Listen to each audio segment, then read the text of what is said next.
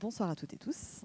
Alors, je prends juste le micro euh, quelques instants avant euh, Rémi Dalisson euh, pour vous souhaiter la bienvenue, même si je ne suis pas exactement chez moi, puisque donc, moi je suis adjointe au maire Laura Slimani en charge de la démocratie participative, l'égalité femmes-hommes et la lutte contre les discriminations. Et donc, on est ici au Musée des Beaux-Arts qu'on remercie de nous accueillir pour cette conférence.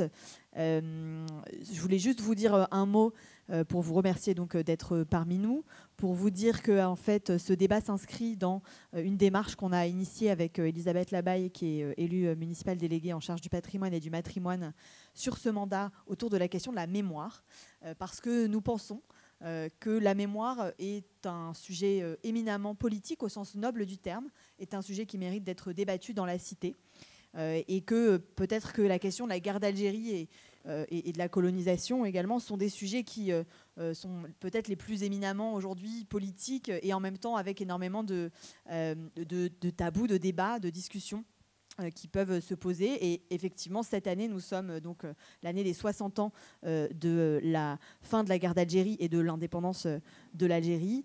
donc c'est une année qui nous a semblé assez propice pour pouvoir lancer euh, une, démarche, bonsoir à, bonsoir à toutes et tous, pour pouvoir lancer une démarche de débat et de discussion, d'échange euh, à l'échelle de la ville, à l'échelle de la commune. Il y aura plusieurs événements qui vont jalonner cette année, mais qui vont aussi se poursuivre dans les années d'après, parce que pour nous, c'est vraiment un point de départ. Euh, il y aura par exemple le samedi après-midi également à la bibliothèque Simone de Beauvoir la projection de, donc de plusieurs courts-métrages, de trois courts-métrages, et puis un débat également qui sera organisé autour de différentes mémoires, des différentes histoires qui sont traversées. donc c'est à 15h euh, samedi euh, à la bibliothèque Simone de Beauvoir. Je pense que ça va être extrêmement, euh, extrêmement chouette comme, comme événement. Et évidemment, sur cette question de la mémoire, donc sur laquelle on travaille, par exemple sur l'histoire des femmes, sur la question de l'histoire aussi de l'esclavage. Hein. On posera bientôt le 10 mai une, plaque en, hommage aux, victimes de l'esclavage sur les quais de Rouen, parce que Rouen a une histoire aussi en lien avec l'esclavage qu'on connaît assez peu l'enjeu de ce débat des mémoires, c'est à la fois de débattre, mais c'est aussi de connaître et de partager évidemment des connaissances et de s'appuyer sur les connaissances existantes, parce qu'on ne peut pas faire, euh, on peut pas travailler sur la mémoire sans histoire, sans le travail des historiens. Et moi, je suis vraiment très heureuse qu'à la ville de Rouen, depuis quelques années, on, noue des liens euh, assez forts avec euh, un certain nombre de, chercheurs et d'historiens. On, on avait lors du débat sur la statue de Napoléon, par exemple, invité un certain nombre d'historiens à venir nous éclairer par euh, leurs travaux, leur expertise, euh, de leurs connaissances pour que les citoyennes et les citoyens puissent faire un, choix éclairé. Euh, et puis, on a avec nous une, doctorante qui travaille à la ville de Rouen qui s'appelle Marie Picard et qui est, une future sociologue de l'histoire qui travaille sur la mémoire des femmes résistantes parce qu'on souhaite nouer des liens nouveaux, peut-être renouvelés avec l'université, avec la recherche. dans le monde dans lequel on est, euh, dans lequel la vérité fait parfois euh, débat ou en tout cas est contestée dans différentes sphères et, et, euh, parfois très puissamment, on pense que c'est important de valoriser la connaissance, de valoriser l'expertise et de partager surtout les savoirs parce que c'est ce qui nous permet de débattre sereinement et puis de, grandir et de sortir aussi parfois de notre vécu personnel pour aller vers, voilà, vers un vécu plus partagé ou en tout cas vers une, compréhension plus partagée des, des événements. Donc je remercie infiniment Rémi Dalisson d'être avec nous ce soir pour nous partager euh, donc euh, euh, son expertise hein, d'historien et, de spécialiste aussi de ces enjeux de mémoire et plus particulièrement de, la mémoire de cette guerre d'Algérie, puisque tu y as, je me permets de te tutoyer Rémi, parce qu'on se connaît très très bien depuis très longtemps. Et, donc tu as écrit un ouvrage sur cette question précisément, donc on, a trouvé que c'était extrêmement pertinent de pouvoir t'inviter ce soir à nous faire un exposé, voilà, à nous présenter un petit peu ton, voilà, tes travaux sur le sujet, et puis évidemment, euh, pour pouvoir échanger par la suite. Euh, c'est euh, le but de la, de la soirée. Donc merci à toutes et tous et bonne soirée. Merci Laura. Bien, merci à tous d'être venus aussi nombreux, même s'il y a encore des absents, mais je les ai notés. Donc, alors, on va parler on va parler d'un sujet, euh, d'un sujet d'actualité. Donc, je vais vous montrer des images. Alors, ça sera peut-être un peu frustrant parce que je ne vais pas avoir le temps de toutes les commenter, bien évidemment. Hein. donc, je ferai deux, trois remarques sur certaines, hein, mais c'est pour illustrer un peu, un peu ce, que je, ce que je vais dire. Et donc, on va commencer par une petite introduction, hein, comme il est euh, d'usage de le faire. Et donc, euh, je pense que vous serez d'accord pour dire que la guerre d'Algérie, c'est un sujet un petit peu, un petit peu polysémique, mais un sujet qui a été longtemps un impensé Hein, de la vie politique française, puisqu'il a fait attendre 1999 pour utiliser le mot guerre pour ce qu'on appelait les événements, euh, les opérations de police, etc., etc. Et on peut dire que ce tabou linguistique a en quelque sorte amené la mémoire de la guerre d'Algérie à hanter le pays un petit peu comme une idée un petit peu subversive. Et euh, évidemment, cela se heurte avec cette année, le 60e anniversaire des, accords d'Évian. Donc il y a beaucoup de choses en ce moment dans les médias, il y a beaucoup de choses à la télévision. Hein. Donc alors, si vous avez le temps, euh, comparez euh, les, deux, hum, les deux documentaires. Vous avez une série de documentaires sur Arte. Hein, faite par une collègue, une éminente collègue et amie qui s'appelle Raphaël Branche, hein, qui est une grande spécialiste de la guerre d'Algérie, donc qui fait d'abord parler les témoins. L'idée, c'est de faire parler les gens. Et puis vous avez le documentaire qui est passé sur la 2 ces deux derniers jours, hein, euh, qui, euh, qui est un documentaire, je dirais, plus classique, et qui est fait par une autre génération d'historiens que Raphaël, des historiens un peu plus vieux, je dirais, plus vieux que moi même, c'est vous dire, hein, euh, Benjamin Stora, et on pas tout, ils n'ont pas tout à fait les mêmes objets d'étude. Hein, notamment vis-à-vis de la violence, hein, euh, de la violence de la colonisation. Donc on pourra en reparler euh, éventuellement. Alors deuxième chose que je voudrais dire en introduction, euh, le problème de la guerre d'Algérie, c'est d'arriver à historiciser les mémoires, comme a dit Laura.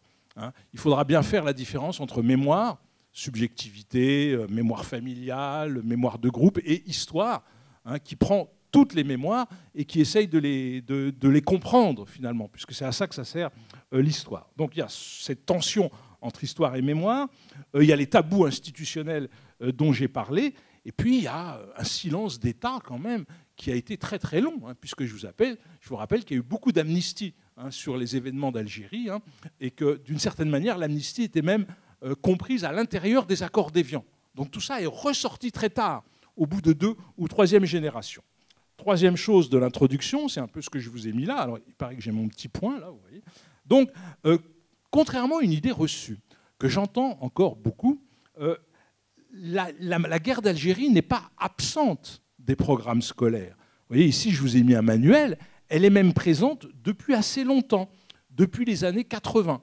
Hein. Et euh, ce qui est intéressant, c'est qu'on l'étudie en terminale sous l'angle justement de la mémoire. Donc, comment historiciser la mémoire d'Algérie. Donc, vous voyez, ce n'est pas un tabou institutionnel aussi important qu'on l'a dit.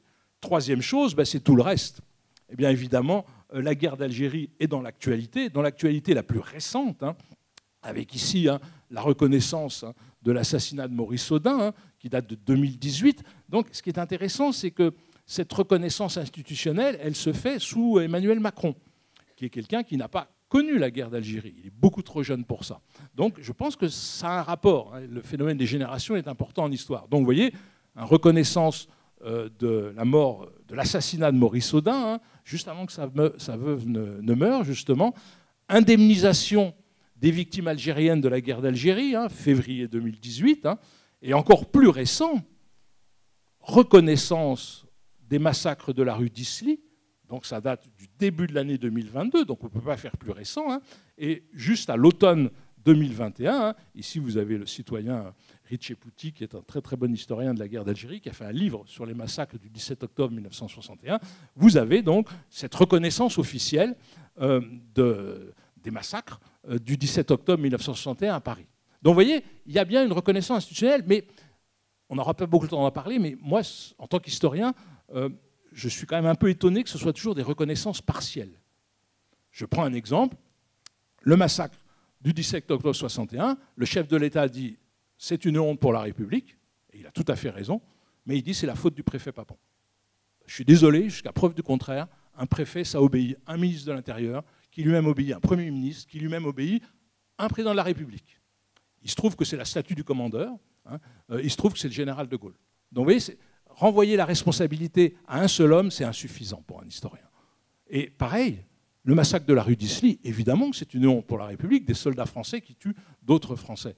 Mais qui étaient les manifestants Des membres de l'OS. Organisation interdite. Manifestation interdite. Il faut le dire. Ça ne justifie en rien, ça, explique, ça explique les choses, ça n'excuse pas. Vous voyez, moi je voudrais qu'on fasse des reconnaissances totales. Et puis dernière chose de l'introduction, parce que je ne voudrais pas être trop long, euh, évidemment la guerre d'Algérie est présente dans l'actualité universitaire. Alors, je vous ai mis ici quelques exemples, une petite bibliographie pour ceux que ça intéresse. À la fin, j'en ai une trentaine, donc je peux vous distribuer ça. Donc, actualité universitaire, hein, donc Malika Rahal, sur un excellent livre qui s'appelle Algérie 1962, donc sur l'année 62 en Algérie, vu par ce qu'on appelle en histoire de l'histoire d'en bas, c'est-à-dire vu par ceux qui l'ont vécu. Donc, et puis, un excellent film tout récent, 2020, mais évidemment, il est sorti pendant le Covid, hein, d'après le bouquin de Laurent Mauvigné, hein, qui s'appelle Des hommes, qui raconte justement le devenir et la mémoire des soldats qui ont participé à la guerre. Donc c'est remarquable, vous avez des grands acteurs, Depardieu est pas mal pour une fois, il n'avait pas trop bu, donc c'était très très bien. Euh, vous avez Daroussin, etc. Donc vous voyez que c'est dans l'actualité. Donc euh, tout cela renvoie à quoi? Ça renvoie à la colonisation et ça renvoie donc à ce qu'est la République. La colonisation républicaine qui est commencée bien avant euh, la Troisième République. On n'aura pas le temps d'en parler, mais ça commence en 1830, bien avant. Donc je pense qu'aujourd'hui, cette question de la colonisation et de la colonisation en Algérie, euh, c'est une question qu'on pourrait qualifier d'identitaire pour la France et pour la République. Qu'est-ce que ça veut dire? Et moi, je l'étudie euh, par le prisme des commémorations, parce que les commémorations sont en quelque sorte une sorte de synthèse de tous les enjeux de la mémoire et de l'histoire de la guerre d'Algérie. Donc moi, je suis un historien du culturel, je suis un historien du politique, je suis un historien des mémoires. Donc si je veux comprendre les problèmes commémoratifs de la guerre d'Algérie, il faut qu'on comprenne les mémoires, toutes les mémoires. Il n'y a pas une mémoire de la guerre d'Algérie. Il y a des mémoires de groupe. Et c'est ces mémoires de groupe euh, qu'il faut euh, connaître. Donc je vous propose de commencer directement par une sorte de première partie qu'on pourrait appeler l'enjeu mémoriel. Il faut se poser la question de savoir pourquoi en France on commémore la guerre d'Algérie. Euh, Ce n'est pas évident dans tous les pays. Hein. Alors pourquoi est-ce que... Vous voyez, je vous ai fait une liste de toutes les fêtes nationales ici. Et je vous ai mis en rouge les fêtes nationales qui concernent la guerre d'Algérie, qu'on appelle les journées aujourd'hui. Il y en a trois pour une seule guerre. Donc pourquoi est-ce qu'on commémore autant? D'abord, il ne faut jamais l'oublier parce que c'est une tradition française depuis la République, depuis le 1792, hein, il y a une pédagogie de la commémoration. Et l'État républicain a toujours utilisé la commémoration, ce qui veut dire se souvenir ensemble, et non pas une fête. Hein, on ne va pas fêter un massacre, d'accord? Mais commémorer, oui, se souvenir ensemble. Donc les commémorations sont utilisées pour se souvenir de ce qui s'est passé, essayer de le comprendre. Donc on peut dire qu'en France, les commémorations, les journées nationales, les fêtes nationales sont des, moments didactiques pour apprendre les principes de la République. Première chose. Deuxième chose, vous avez vu là ce, gigantesque tableau, on peut dire que la France est championne du monde des commémorations. Il y a 14 commémorations, plus deux récentes, 14 commémorations ou journées nationales, ça nous fait 16 fêtes nationales ou journées nationales, record du monde. Trois pour la guerre d'Algérie, hein, le 23 septembre, le 5 décembre, on en reparlera, et bientôt le 19 mars. On a même en France un haut comité aux commémorations hein, qui date de 1974, qui est devenu en 2020 le service des anniversaires et des commémorations historiques sous l'égide de l'Institut de France. Ça, c'est un cas unique. Il n'y a que nous qui avons ça. Donc vous voyez, ça vient de la Révolution, ça vient de la République, c'est une pédagogie. Troisièmement, donc je ne reviens pas là-dessus, commémorer ça a du sens, ça veut dire se souvenir ensemble pour comprendre. Donc il y a bien cette pédagogie. Mais évidemment, je vous ai mis deux choses qui peuvent vous intriguer. Commémorer une victoire, c'est facile, parce qu'on a gagné. On, ce serait la France. Donc je vous ai mis l'exemple, vous voyez, commémorer Verdun, pas de problème. Commémorer la Première Guerre mondiale, facile, on a une date, le 11 novembre. Mais commémorer ça, je vous ai mis une photo tirée de, l'ECPAD, hein, donc c'est le service de photos et de cinéma de l'armée. Hein. Donc là, vous avez un, lieutenant, je crois, qui était blessé. Hein. Donc, comment commémorer une défaite Ah, ça, c'est beaucoup plus compliqué. Alors, on sait faire en France. On a commémoré la défaite de 70, qui a été vengée, entre guillemets, en 14-18. Mais commémorer la mort, la souffrance, la douleur, qu'est-ce qu'on a comme date? Qu'est-ce qu'on a comme monument en France? Pour la Première Guerre mondiale, on a construit des monuments. Alors on en a construit pour la guerre d'Algérie, mais très tardivement. puis après, il y, avait, en avait un grand hein, qui était évident, il y avait l'Arc de Triomphe. Mais qu'est-ce qu'on a comme monument? Pour la guerre d'Algérie On n'a rien. Donc vous voyez, il n'y a pas de consensus sur qu'est-ce que ça veut dire commémorer une défaite. C'est dur, il y a des gens qui disent on ne peut pas commémorer une défaite, parce que ça abaisse la France, etc. Mais ce n'est pas le problème. Le problème, c'est de comprendre. Donc vous voyez, commémorer une défaite, c'est beaucoup plus délicat. Et puisqu'on est du, côté français, hein, je ne parle pas des mémoires algériennes, je n'ai pas le temps, euh, comment commémorer 30 000 morts? 30 000 soldats morts pour la France. 30 000 soldats, et on le sait à Rouen, dont les corps étaient ramenés la nuit par bateau pour que les gens ne sachent pas qu'il y ait des morts pendant la guerre, puisque ce n'était pas une guerre, c'était juste des opérations de police. Donc comment faire pour commémorer quelque chose d'aussi traumatique, je dirais? C'est pas évident, et donc ça explique la longue marche hein, de, la, de la commémoration de la guerre d'Algérie, pour laquelle on n'avait ni date, ni lieu où commémorer, ni rituel. Alors maintenant, on a, des monuments aux morts, il y en a à peu près un par département, hein, plus des petits locaux, mais à l'époque, il n'y en a pas. Donc vous voyez, on a ça. Et puis une dernière chose, c'est un événement où les mémoires s'entrechoquent, où les mémoires sont prises en otage par des groupes, par des associations, qui empêchent souvent de faire un travail historique. Donc vous voyez pourquoi c'est beaucoup plus compliqué de commémorer euh, une défaite, surtout la guerre d'Algérie, qui n'était pas une guerre jusqu'en 1999, hein, euh, plutôt qu'une victoire. Alors, euh, si on veut comprendre la commémoration de la guerre d'Algérie, hein, quelle qualité de pas ce que j'ai mis, la qualité technique, moi j'en reviens pas, c'est à côté de, des, trucs qu'on a à l'université, c'est magnifique. Bien, moi je j'en m'en vais toujours pas.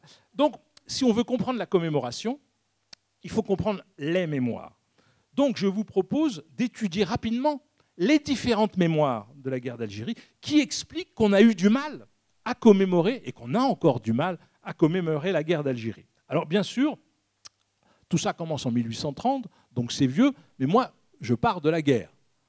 Donc, on va commencer par euh, la mémoire de ceux qui sont arrivés les premiers. Et ceux qui sont arrivés les premiers en Algérie, c'est les militaires. 1830, hein, d'accord, c'est la victoire. Et la guerre d'Algérie, la première guerre, la, guerre de conquête, elle dure 18 ans. Il faut imaginer ce que c'est. Hein. Et c'est une guerre terrible. Et on parlait tout à l'heure de génération, j'en parlais avec des collègues et des amis. Hein. Euh, pendant longtemps, on n'a pas assez travaillé en France sur la violence de la guerre de conquête, sur l'ultra-violence de la guerre de conquête. Les historiens de la génération de Benjamin, Stora, n'ont pas beaucoup travaillé là-dessus. Les nouveaux historiens, hein, comme le livre que je vous ai montré, comme Raphaël Branche, comme Sylvie Thénault, travaillent là-dessus. Et cette violence explique bien des choses. Et c'est aussi la violence de la guerre. Hein. Et donc, ça peut expliquer la violence sourde qu'il y a aujourd'hui dans la société algérienne. Elle a des racines.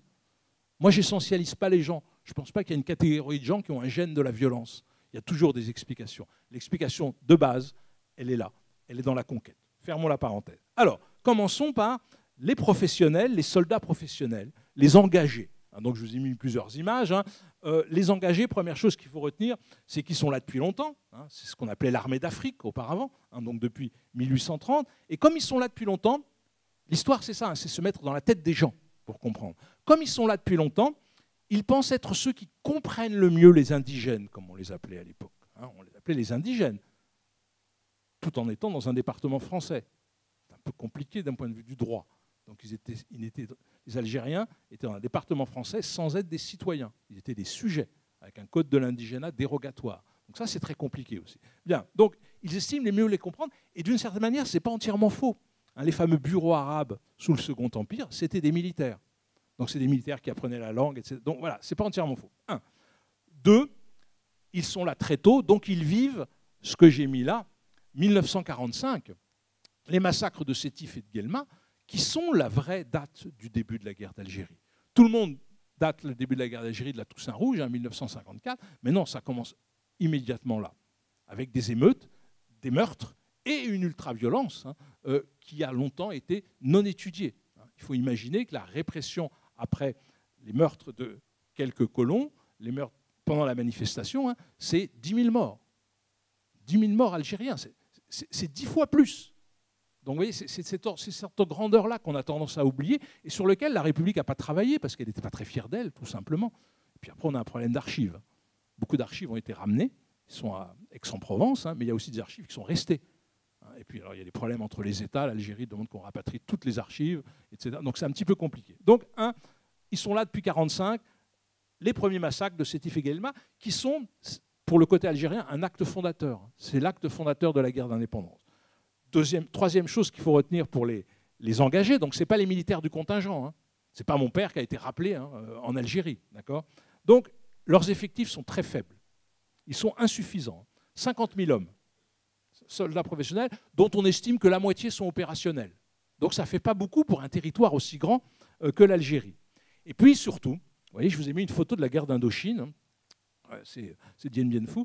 Euh, surtout, ces soldats militaires sont hantés par l'idée d'un abandon de l'Algérie et de leur combat par la métropole ils estiment que la métropole les laisse tomber et euh, ça renforce le sentiment qu'ils ont d'être à l'avant-garde, d'avoir une sorte de mission civilisationnelle, sauver l'Occident, sauver l'Occident contre les musulmans. Mais ce sentiment d'abandon va être très important et j'insiste bien, ils reviennent presque tous, ces militaires. On les rapatrie en, vitesse au début de la guerre d'Algérie, c'est-à-dire en 1954, ils viennent tous d'Indochine. Et qu'est-ce qui s'est passé en Indochine? Ils se sont fait battre par qui? Par ceux qu'ils estiment être des inférieurs, hein, par le Viet Minh, à Dien Bien Phu. Ils ont appris la guerre révolutionnaire en Indochine et ils se disent plus jamais ça. Tout plutôt que de perdre une deuxième fois dans une colonie. On a perdu en Indochine, ils ont même perdu aussi en 1940, et donc ils sont animés par ce désir de ne plus jamais perdre, y compris une du monde, on en reparlera, par tous les moyens y compris par la torture, y compris par la guerre psychologique, y compris par la propagande. Mais surtout, ne pas perdre. Donc il faut bien comprendre ça pour comprendre ce qui va se passer pendant la guerre et surtout, pour moi, après la guerre. Et dernière chose, évidemment, ces militaires, ils sont très très embêtés. C'est les militaires professionnels, c'est les parachutistes. Ils ont le sentiment d'avoir été trahis par De Gaulle. Or, ce sont les militaires d'Algérie qui font revenir De Gaulle au pouvoir le 13 mai 58. Donc vous voyez, ils le soutiennent parce qu'ils pensent qu'il va garder l'Algérie française. Très vite, il abandonne l'idée, donc ils se sentent trahis. Donc, euh, une partie d'entre eux va, une, partie, une petite partie, contrairement à la légende, les trois quarts de l'armée française, y compris professionnels, ne suivent pas l'OS, mais une partie va verser dans l'OS en disant ce sont des traîtres. Ils se, sont ils se sentent trahis aussi parce qu'ils estiment qu'on ne couvre pas assez la torture. On leur a dit, débrouillez-vous, gardez l'Algérie, gagnez la bataille d'Alger. Et puis, ils ont l'impression que quand la torture est révélée, elle est révélée très tôt. Hein. Euh, les premiers à témoigner de la torture, c'est témoignage chrétien, en 1955. D'accord? Eh bien, ils ont l'impression que euh, la métropole les laisse un petit peu tomber. Donc, voyez, ce sentiment de trahison est un petit peu renforcé. Euh, parce que la, torture leur semble nécessaire. C'est ce que le général Massu appelle un moyen de coercition c'est un moyen un peu de coercition, on n'a pas le temps d'en parler, hein, mais euh, Sylvie Thénault a travaillé spécifiquement sur la torture aussi, Raphaël Branche. Donc, beaucoup de ressentiment des militaires français, des militaires professionnels. Ce qui explique aussi qu'ils se révoltent contre la République.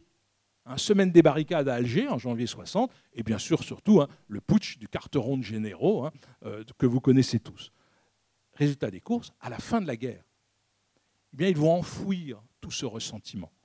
Et ils vont l'enfouir. Pourquoi? Mais Parce que c'est des militaires. Il n'y a pas de syndicat chez les militaires. Il n'y a pas d'association. Donc ils vont remâcher cette rancune, ce sentiment de trahison et ce sentiment d'abandon. Ça, c'est pour les professionnels. Mais ce n'est pas les plus nombreux. Nombreux, c'est eux. Et regardez comme ils ont l'air jeunes. Parce qu'ils le sont. C'est des minots. Ils ont 20 ans, ils ont 18 ans, ils sortent du lycée ou alors de la vie active, puisque c'est une époque où les gens ne faisaient pas d'études longues. D'accord? Donc, deuxième groupe de mémoire, ce que j'appellerais les appelés du contingent. Alors, ils sont beaucoup plus nombreux que les professionnels, hein, puisque euh, au plus fort de la guerre, ils sont 450 000 en une année. Mais on estime en tout hein, qu'il y a eu, euh, entre 52 et 62, 1,4 million d'appelés ou de rappelés, comme mon père. Donc, ce ne sont pas des professionnels, c'est des gens qui font le service militaire en Algérie. C'est de ça dont parle euh, le film que évoqué tout à l'heure des hommes. Donc 1,4 million d'appelés ou de rappelés, plus 407 000 militaires. Donc vous voyez, ça fait presque 2 millions de militaires en Algérie. C'est gigantesque. Donc les appelés du contingent, comme on les appelle, c'est 75% des militaires. Et comme les autres, ils ne participent pas à une guerre, leur dit-on. Ils participent au maintien de l'ordre en Afrique du Nord, qu'on appellera ensuite la pacification. Mais eux, ils savent que c'est une guerre. Parce qu'eux, ils meurent. Eux, ils ont des fusils. Eux, ils ont face à eux d'autres soldats. Alors évidemment, c'est tout le problème de l'État français. Hein. Ce n'est pas une armée d'un pays. Hein. Ce sont des partisans, comme on les appelle, comme étaient les partisans euh, pendant la Seconde Guerre mondiale. D'accord? Alors c'est qui ces gens-là? Ben, C'est des jeunes, 18-20 ans. Alors Benjamin Stora les a appelés d'un très beau nom, et je trouve que c'est très bien, parce que je commence à connaître beaucoup de gens qui ont fait la guerre d'Algérie, j'en ai interviewé, j'ai discuté avec eux. Hein. Il les appelle la génération Djebel. C'est tout à fait ça. Vous avez toute une génération qui est partie là-bas, sans savoir tellement pourquoi. Donc, 20 ans. La génération de Djebel, des gens insérés professionnellement pour la plupart, qui abandonnent tout, qui abandonnent tous leurs repères pour une période de 18 à 30 mois. D'accord? Deux ans, avec une permission de 15 jours, une seule permission. Donc vous imaginez, hein, vous êtes au fin fond du pays de Caux hein, et vous vous retrouvez dans les Aurès. Hein, le changement est quand même difficile. Donc ils partent sans expérience du combat, puisqu'ils vont faire leur service militaire là-bas, donc très courte période de formation, sans expérience, en étant dans les années 50-60, de l'ailleurs. Ils ne connaissent pas l'ailleurs. Ils sont, bah, regardons cet exemple, ils sont au Pays de Caux, ils lisent euh, le journal du Pays de Caux, point final.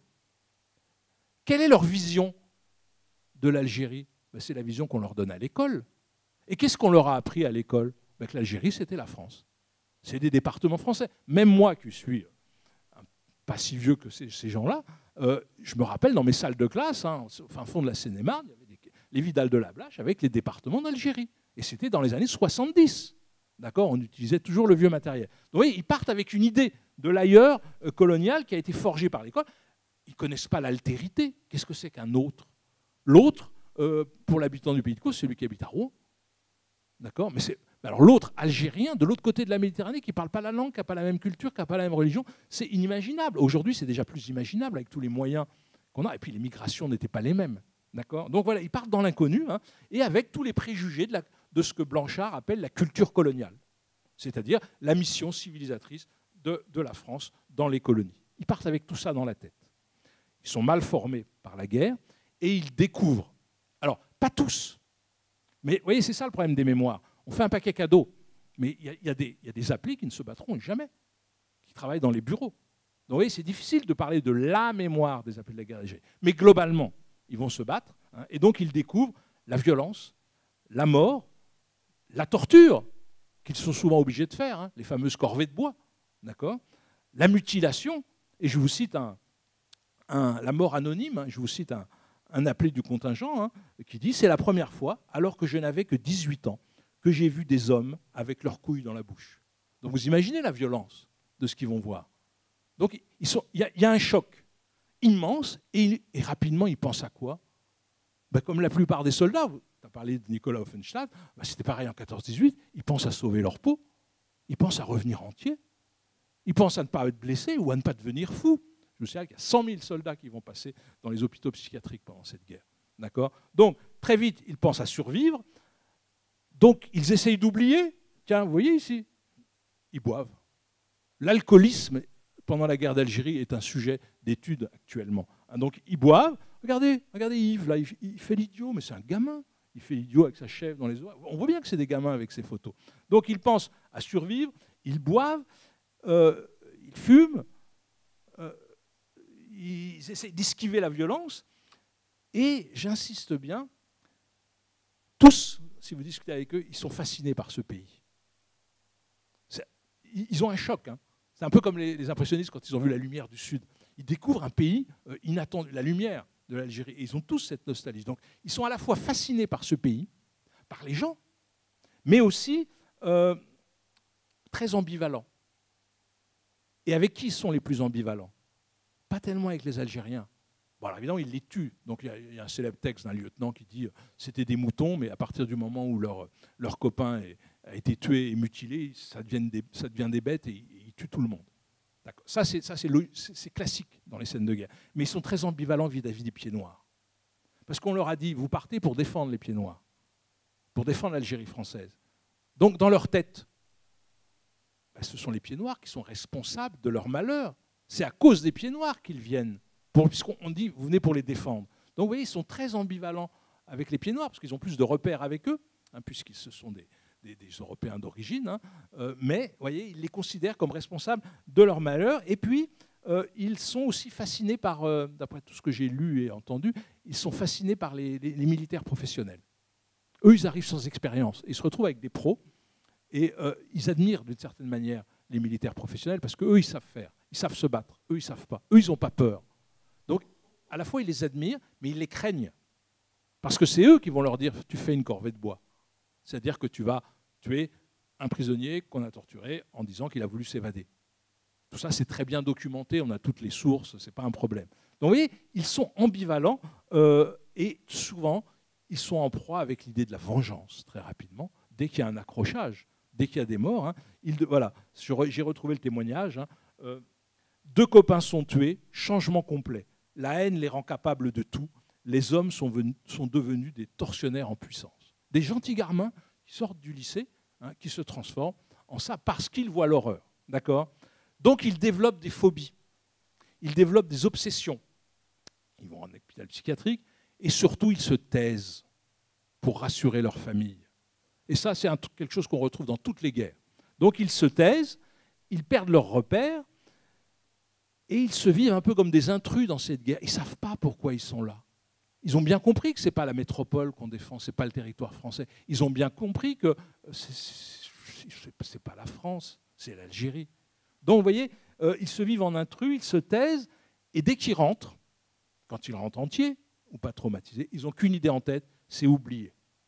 Qu'on ne leur en parle plus. Et ils n'en parlent plus. Mais ça, c'est un point commun qu'on trouve à toutes les guerres.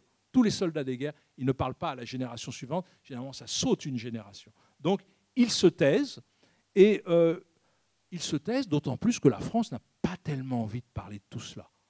Hein, quand ils reviennent en 62, 62-64, hein, la France est en pleine trente glorieuse, la France veut enfin profiter de la société de consommation, et donc on veut tourner la page. Donc ils se sentent incompris, donc ils vont remâcher ça, alors là, à la différence des professionnels, dans leurs associations. Troisième groupe dont on parle, on reste chez les militaires, évidemment les harkis. Alors attention, hein, on est bien d'accord, Arki en arabe, hein, j'ai demandé au prof d'arabe du lycée où j'étais, c'est plus simple, hein, ça veut dire déplacement rapide. Donc vous voyez, pas du tout comme certains le pensent, euh, ça ne veut pas dire traître. D'accord? Alors, c'est quoi les harkis? C'est qui les harkis Ce sont les supplétifs de l'armée française, c'est-à-dire c'est des locaux qui travaillent avec l'armée française. C'est des indigènes qui travaillent avec l'armée française. D'accord? Mais c'est quelque chose qu'on connaît bien en France. En Indochine, la moitié de l'armée française, c'est des supplétifs indochinois. Donc, un, ce n'est pas nouveau. Plus de 260 000 personnes qui travaillent avec l'armée française, qui sont payées par l'armée française, qui ont un contrat avec l'armée française. Sur ces 260 000 personnes, il y a plein de statuts différents. Il y a à peu près 60 000 harkis. Donc, c'est ceux qui se battent en, euh, première ligne. Alors, qui sont ces harkis Là aussi, si vous voulez comprendre, il faut les écouter. Eh ben, ce sont souvent euh, des paysans pauvres qui sont écartelés entre leur identité d'origine des Algériens et leur identité d'adoption des soldats de l'armée française. Leurs motivations pour travailler sur l'armée française sont extrêmement variables. Ça peut être quelquefois uniquement des motivations financières, être payé. Ça peut être des motivations mémorielles. Mon père a fait la guerre pour la France, donc je veux aider la France. Donc vous voyez, c'est extrêmement compliqué. Mais ce qu'il faut comprendre, c'est qu'on leur donne le sale boulot à faire, ah ça, on sait très bien faire. Bah oui, ils parlent. Ils parlent l'arabe, donc on leur fait le sale boulot. Hein. Euh, il y a une rue des non, dans le 13e arrondissement, il y a un centre de torture tenu par les harkis. Donc vous voyez, on se décharge de ça sur les harkis, c'est beaucoup plus commode. Donc on leur fait faire le sale boulot. L'armée française se méfie d'eux. Hein. C'est des soldats qui, la nuit, doivent rendre leurs armes. Ça n'arrive pas, hein, théoriquement. Donc vous voyez, donc ils vivent très mal le double regard des Français qui se méfient d'eux, parce que c'est quand même des Algériens, et des Algériens qui, évidemment, comme euh, les collaborateurs pendant la Seconde Guerre mondiale, les considèrent comme des traîtres. Donc vous voyez, c'est extrêmement compliqué, et donc ils vivent en permanence la guerre dans l'angoisse. Ils meurent pour la France, 3000 morts quand même, d'accord? Et donc euh, ils sont dans une situation un petit peu, un petit peu complexe, d'autant plus qu'ils ont une très mauvaise réputation. On les traite de tortionnaires, etc., parce qu'on leur fait faire euh, le, mauvais, le mauvais travail. Et évidemment, il voit que les choses dérapent, et très rapidement, il s'interroge, qu'est-ce qui va se passer à la fin de la guerre? Et le gouvernement leur promet la nationalité française.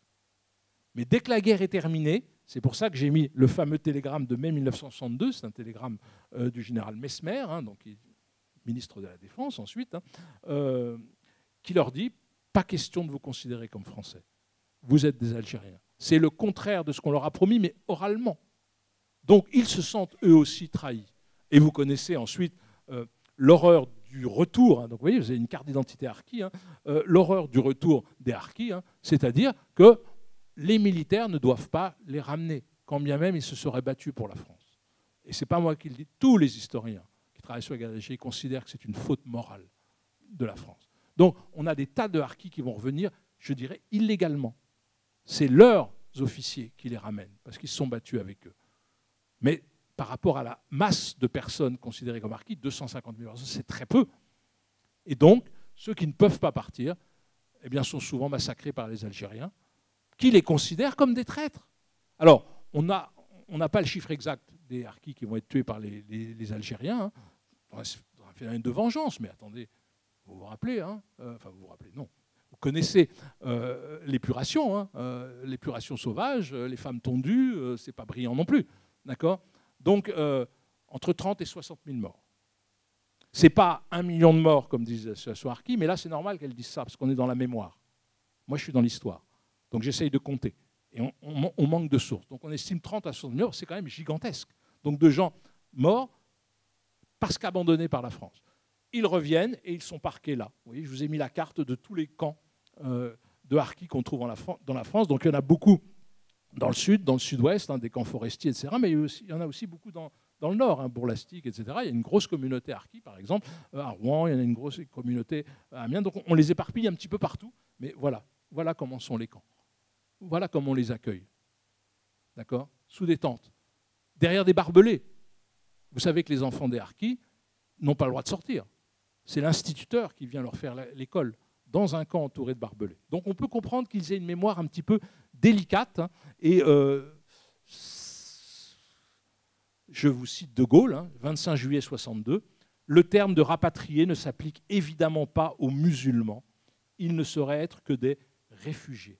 Donc vous voyez, l'État français leur dénie leur nationalité et donc leur mémoire va rester enfouie jusque dans les années 70, jusqu'à ce que la deuxième génération, c'est-à-dire les enfants de Harkid nés en France, se révoltent contre l'oubli, notamment en occupant des, en occupant des églises. Hein. il y a eu des cas à Dreux, à Amiens, etc. Donc il faut attendre les années 70 pour qu'on en parle. On continue dans la mémoire. On quitte les militaires, mais vous voyez, ça fait déjà trois mémoires différentes. La mémoire des civils, donc évidemment, la mémoire des pieds noirs. Donc, leur mémoire est tout aussi problématique. Alors, un million à peu près, de gens qui sont là depuis, pour certains, quatre générations. Donc, ils ont enterré leur famille en Algérie. Et tous les pieds noirs avec qui vous discutez disent l'arrachement, c'est l'abandon du cimetière, c'est l'abandon de nos racines. Donc les pieds noirs, c'est ceux-là que la République française considérait comme algériens. Vous voyez, dans la terminologie de la Troisième République. Ce qu'on appelle les Algériens aujourd'hui, on les appelait les musulmans. Et les Algériens, c'était les Français et les Espagnols, parce qu'il n'y a, pas que des Français. Donc un million de personnes, hein. euh, une population extrêmement diverse. Beaucoup plus diverse que l'image qu'on en a dans les films, le coup de Sirocco, etc. Hein. Euh, tout le monde a l'image du gros colon riche exploiteurs, etc. Non, non, non, non, c'est pas moi qui le dis. Hein. C'est une ethnologue qui s'appelle Germaine Tillon. Tillon, elle est un petit peu incontestable, hein, résistant dans la Seconde Guerre mondiale, plutôt à gauche, donc elle dit elle-même non, non, non, non, les harkis, c'est pas les gens riches. Il y a quelques énormes propriétaires, mais le, pardon, le pied noir, euh, c'est le petit fonctionnaire, par exemple. Donc oui, ils sont beaucoup moins riches qu'on ne l'a dit. Simplement, c'est une population qui possède un privilège énorme, plus que l'argent, c'est la citoyenneté. C'est ça. Et pour ces gens qui quelquefois sont très pauvres, leur spécificité, c'est la citoyenneté. Donc si on leur prend la citoyenneté en la donnant à d'autres, c'est-à-dire aux musulmans, là, ils vont se sentir des choix. Euh, les, pieds noirs, on n'est pas dans une colonie de peuplement, même si on a essayé, 1 million, 7 à 8 millions de musulmans, ils se sentent isolés, donc ils ont aussi la mentalité de l'isoler. D'accord? Donc, ils ont une mémoire très particulière. Alors, j'ai mis le titre, j'ai mis plusieurs images, etc. Hein, vous voyez une présence ancienne hein, Sidi Belabès, début du XXe siècle, une photo en noir et blanc. tous, les, tous ceux qui reviennent, et ça on le voyait bien dans les documentaires, ils ont le sentiment de quitter leur Eldorado, un paradis perdu. un paradis perdu parce que quand vous partez, forcément vous idéalisez le moment où vous êtes parti. D'autant plus si vous vieillissez. Hein. Donc ils ont un sentiment de perte, un mode de vie, euh, de la terre, etc.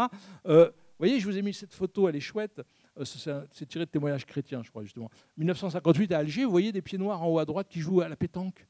Mais ils jouent à la pétanque avec qui? Bah, Manifestement, il y a un juif qui a une kippa, mais aussi avec des, avec des musulmans. Donc vous voyez, ils sont à la fois dans la société algérienne, mais séparés de la société algérienne parce qu'ils ont ce fameux privilège de la citoyenneté française, quand bien même le statut de l'Algérie change en 1947, tout le monde sait que les élections étaient honteusement truquées.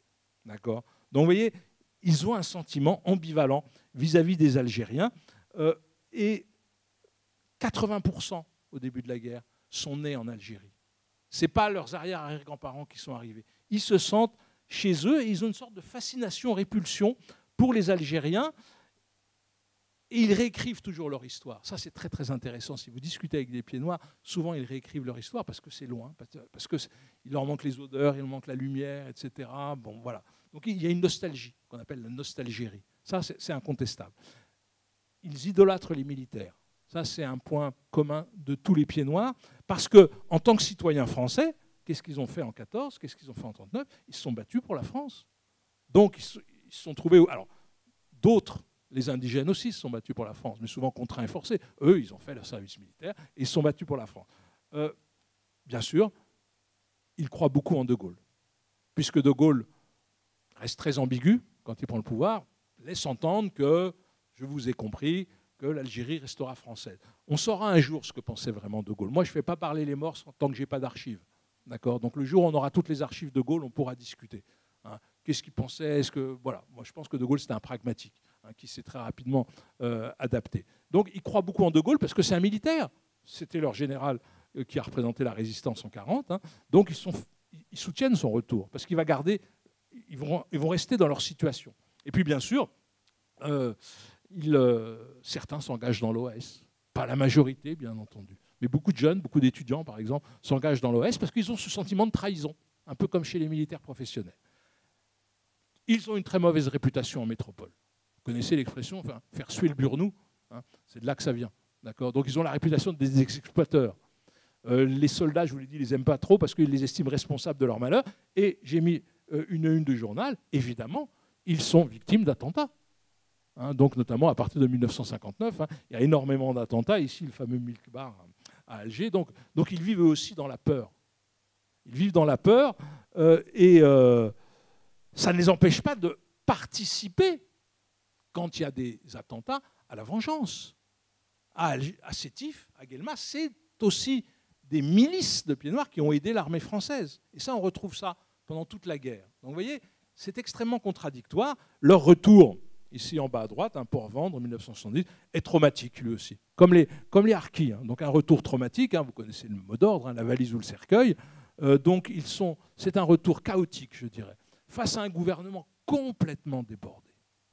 Euh, Louis Jox, le, père de Pierre Jox, hein, disait oui, on en attendait à peu près 200 000. D'accord? Il y en a un million qui reviennent. Un million à partir du mois d'avril-mai, hein, pendant tout l'été. Un million au lieu de 200 000. Donc c'est un bazar sans nom, si je puis dire. 80% hein. rentrent en 1962. L'accueil des Français n'est pas toujours chaleureux. Hein, je vous citerai la fameuse phrase de Gaston de Fer, hein, le maire de Marseille. Il dit Français d'Algérie, allez vous faire rapatrier ailleurs, il faut les rejeter à la mer. D'accord? Comprenez pourquoi ils sont traumatisés aussi Donc ils reviennent, ils sont mal accueillis, il n'y a pas de structure. Hein. Simplement, à la différence des harkis, ils ont des points d'accroche dans la société française. Ils ont des familles, ils ont, donc ils s'insèrent relativement vite.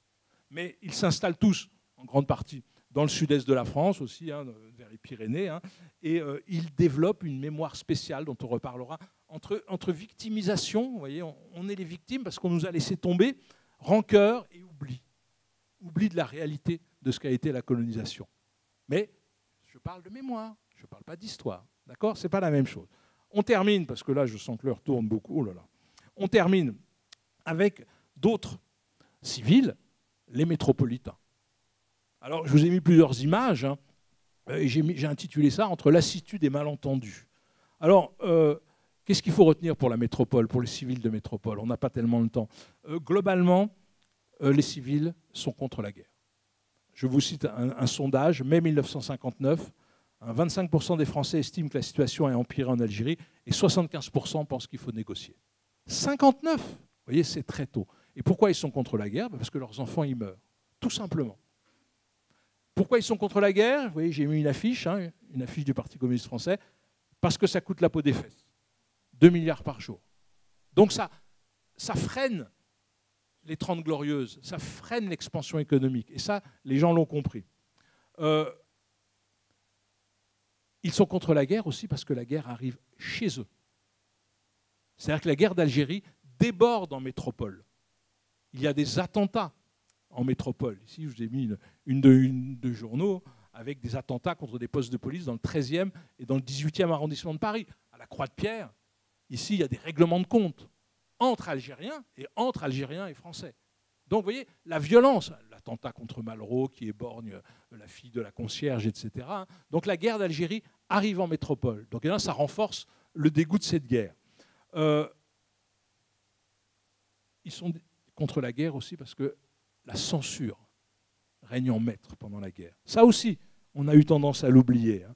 Euh, la censure règne pendant la guerre. Il y a eu plus de 240, 269 euh, périodiques et journaux saisis en métropole pendant la guerre. D'accord? Et ici, j'ai trouvé à la préfecture de police de Paris, hein, vous voyez, saisis en vertu de l'article 10 euh, hein, d'un certain nombre d'exemplaires de l'humanité. Donc il y a de la censure.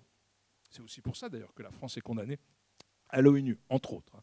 Donc, euh, la censure, les attentats, le coup, la mort ici. Donc, vous avez une tombe d'un appelé, vous voyez, toujours aussi jeune, hein, qui meurt euh, en Algérie. Et puis, euh, des fluctuations politiques, c'est le moins qu'on puisse dire.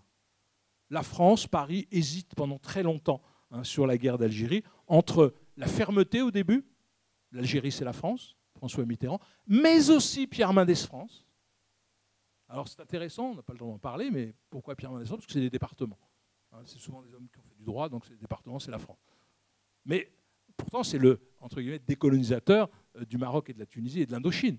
Voyez, donc au début, fermeté, et puis ensuite, euh, des accommodements, euh, on couvre la torture. Hein, François Mitterrand, il a beau être contre la peine de mort, hein, il ne gracie aucun prisonnier politique algérien.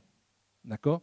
Donc vous voyez, beaucoup des trahisons, le Parti communiste qui vote les pouvoirs exceptionnels pour un parti anticolonialiste, c'est quand même un petit peu spécial.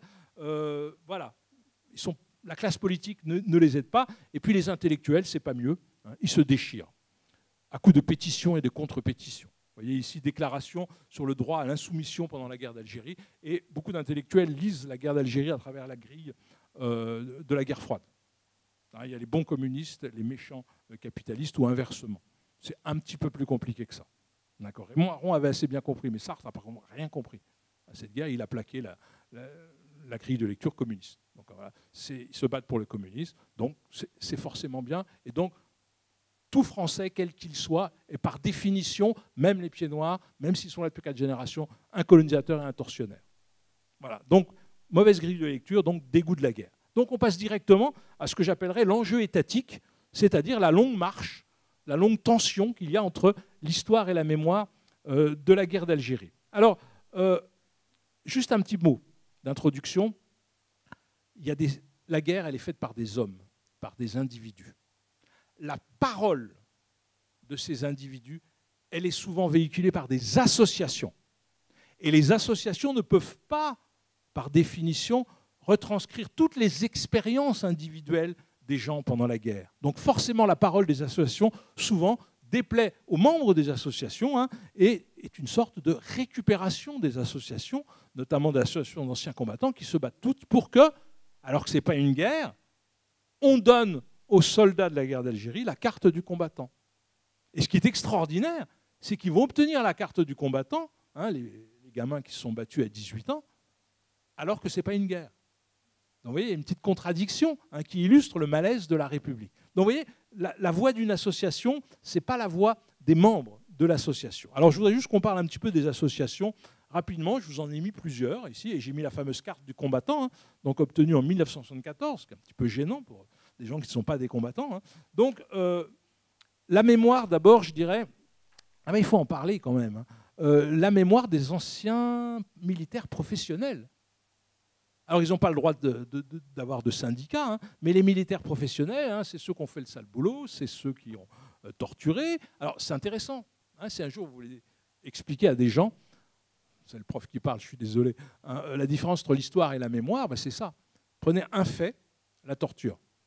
Vous avez deux personnes qui l'ont pratiquée et qui n'ont pas la même vision de la chose. Vous avez quelqu'un comme Massu qui dit oui, j'ai torturé. Oui, d'ailleurs, j'ai essayé la GGN, hein, ça fait un petit peu mal et tout ça, mais c'est pas si mal que ça. il reconnaît l'usage de la torture à la fin de sa vie. Il dit même que c'est une erreur. Et puis vous avez des gens comme Bijard, qui a fait la même chose, qui jusqu'à la fin de sa vie a nié la chose. Parce que là, ils sont dans la mémoire, quels que soient les témoignages qu'il y avait. Donc vous voyez, c'est intéressant. Donc euh, ces, militaires professionnels n'ont pas le droit d'avoir des associations, mais on peut dire qu'une partie d'entre eux hein, rentrent dans des associations de mémoire de l'OAS. Il y a des associations de mémoire de l'OAS. Et l'OAS, c'est quoi? C'est une organisation terroriste hein, qui pratique l'assassinat et l'attentat de masse. Donc je vous ai mis ici un l'ADIMAD, Association pour la défense des intérêts moraux et matériels des anciens détenus de l'Algérie française. Hein. Ils ont cette mémoire qui est la mémoire des putschistes qui est la mémoire des terroristes, donc ils vont avoir leur date de commémoration. Passons rapidement. Alors plus intéressant, la mémoire, ici, là, à gauche, la mémoire des anciens appelés, des soldats, de, ceux dont vous avez vu la photo. Alors très rapidement, il y a deux associations qui émergent, qui existent toujours aujourd'hui. Vous avez la FNACA, ici, hein, donc la Fédération nationale des anciens combattants euh, d'Afrique du Nord. Alors la FNACA, euh, vous voyez, j'ai mis UNC contre FNACA. La FNACA, on va dire, pour simplifier, c'est une association de gauche. Euh, elle est fondée par, Jean-Jacques Charvan-Schreiber, qui a fait son service militaire en Algérie. Donc c'est une association de, gauche qui est basée, vous voyez, on voit tout de suite, sur l'idée de la réconciliation. Puis, face à elle, vous avez une autre association d'anciens combattants, il y en a d'autres, hein, mais je prends les deux principales de la guerre d'Algérie, c'est l'UNC, l'Union nationale des combattants, Afrique du Nord. Alors l'UNC, c'est vieux, hein, euh, autant la FNACA a été créée en 58, l'UNC a été créée pour la Première Guerre mondiale. Et cela, on va dire, c'est plutôt une mémoire d'anciens combattants de droite. Ce qu'il faut retenir, c'est que ces deux mémoires s'affrontent en permanence et encore aujourd'hui sur les dates de commémoration. C'est ça qui est terrible la guerre d'Algérie. La mémoire de la guerre d'Algérie est toujours récupérée, soit par des politiques, soit par des associations. Donc on a ces associations qui se battent pourquoi Pour que la guerre soit reconnue comme une guerre, donc pour obtenir la carte du combattant qu'ils obtiennent en 1974. Hein. Et euh, ces mémoires aussi, ces, mémoires, ces deux associations se battent pour qu'on n'oublie pas la guerre d'Algérie, dans une société qui veut un petit peu l'oublier. On passe vite. La mémoire des harkis. Alors, après ce que je vous ai dit, vous pensez bien qu'elle ne peut pas être très positive vis-à-vis euh, de l'État français. Donc, il n'y a pas d'association mémorielle de harkis au début, juste après la guerre. Elles sont prises en charge par l'État, justement. Hein. C'est ça qui est intéressant. Et donc, il y a une deuxième génération de, de, de, qui apparaît dans les années 70, hein, la Confédération des Français musulmans rapatriés d'Algérie et leurs amis, hein, en 1973. Hein. Euh, et ces, associations se battent pourquoi? Pour que la France reconnaisse qu'ils se sont battus aux côtés de la France et qu'ils ont droit à une réparation puisqu'on les a abandonnés. Euh, simplement, cette mémoire, elle est récupérée par des partis politiques, notamment à l'extrême droite. Donc il y a une sorte de malédiction je me suis aperçu en discutant avec les gens qui ont vécu la guerre d'Algérie, il y a une malédiction de cette mémoire de la guerre d'Algérie qui est récupérée politiquement par la gauche et par la droite, qui empêche ceux qui l'ont vraiment vécu de comprendre et de prendre du recul et d'expliquer à la société ce qu'a été la guerre d'Algérie. Donc voilà pour les harkis. Et bien sûr, il y a une mémoire pied noir, évidemment, qui milite pourquoi? D'abord pour, que, avoir des indemnités, comme toutes les associations, mais aussi pour qu'on euh, reconnaisse la culture noir, qui est une culture bien spécifique, qui n'est pas celle des, des, caricatures euh, ou des films. Euh, voilà, donc ils, se battent pour cette reconnaissance, pour des Et leurs associations sont très nombreuses, donc je n'ai pas le temps de toutes les citer, elles apparaissent dès les années 1950, hein. mais contrairement à ce qu'on pense, ce que je voudrais dire, c'est qu'il y a plusieurs associations de pieds noirs. Il y a des associations de pieds noirs, on va dire, vous voyez, sauver une culture en péril, dit le cercle algérianiste qui a été fondé en 1973. Il y a des associations, je dirais, plutôt conservatrices, voire à droite, voire récupérées par l'extrême droite. Puis il y a des associations progressistes que personne ne connaît. Hein. Ici, je vous ai mis hein, euh, l'association des pieds noirs, hein, l'association nationale des pieds noirs progressistes et leurs amis. C'est une association qui a été créée dans les années 2000. D'accord? Donc vous voyez, la mémoire pieds noirs, elle est aussi diverse, mais surtout, et c'est ça que vous le savez, elle est récupérée, parce que les pieds noirs, c'est un million de personnes, c'est un million d'électeurs. Et si vous comptez leurs descendants, c'est encore plus d'électeurs. Donc tous les partis politiques vont instrumentaliser la, mémoire des pieds noirs, notamment la droite avec la fameuse loi de 2005 sur le rôle positif de la colonisation. Donc il y a vraiment cette malédiction. Alors, euh, passons à la société maintenant. Alors, euh, la société, vous avez compris, euh, j'ai eu un saut de, de, diapositive, donc je suis extrêmement perturbé. donc, la société, on va partir de celle-là, elle n'oublie pas totalement la guerre d'Algérie. Voilà le fameux film Avoir 20 ans dans les Aurès, hein, euh, il date de 72, mais il est censuré. Donc contrairement à ce qu'on pense, la société n'oublie pas euh, la guerre d'Algérie, mais, vous voyez, elle a un problème euh, parce que médaille commémorative, non pas de la guerre d'Algérie, mais des opérations de sécurité et de maintien de l'ordre. Et puis la société, elle est un petit peu, divisée. Pensez le cas de Georges Bidault. Vous connaissez Georges Bidault, successeur de Jean Moulin, grand résistant. Eh Georges Bidault, il termine sa carrière à l'OS en exil en Espagne. C'est-à-dire qu'il verse dans le terrorisme. Alors que lui-même a été un grand résistant hein, et a été euh, poursuivi par les nazis. Vous voyez que c'est compliqué les destins. Donc, dans la société française, je dirais, la guerre d'Algérie ne disparaît pas. Hein. il y a des films, euh, il y a des ouvrages, hein, la guerre d'Algérie d'Yves en 66. mais on va dire, il faut attendre. Il faut attendre euh, les années 80-90 euh, pour qu'on parle de la guerre d'Algérie. Regardez, regardez juste pourquoi la guerre d'Algérie ne disparaît pas. Loi du 31 juillet 68, amnistie pour les infractions commises pendant les événements d'Algérie. Donc vous voyez, elle existe, cette guerre d'Algérie, mais elle existe à bas bruit dans la société. Donc il faut attendre les années 80-90, hein, je vais un petit peu accélérer, hein, pour qu'on commence à en parler, donc avec des colloques. Hein, le premier colloque sur la guerre d'Algérie date de 1900. 90, hein, donc c'est quand même extrêmement tardif, avec des films, avec, dans les années 90, on l'oublie toujours, la guerre civile algérienne. Vous savez, hein, la guerre civile algérienne avec les intégristes, etc., le fils. Cette guerre civile, elle remet sur le devant de la scène la violence, l'ultra-violence. C'est une guerre horrible. Alors, entre 100 50 et 300 000 morts. On ne sait pas bien. Les Algériens qui tuent d'autres Algériens.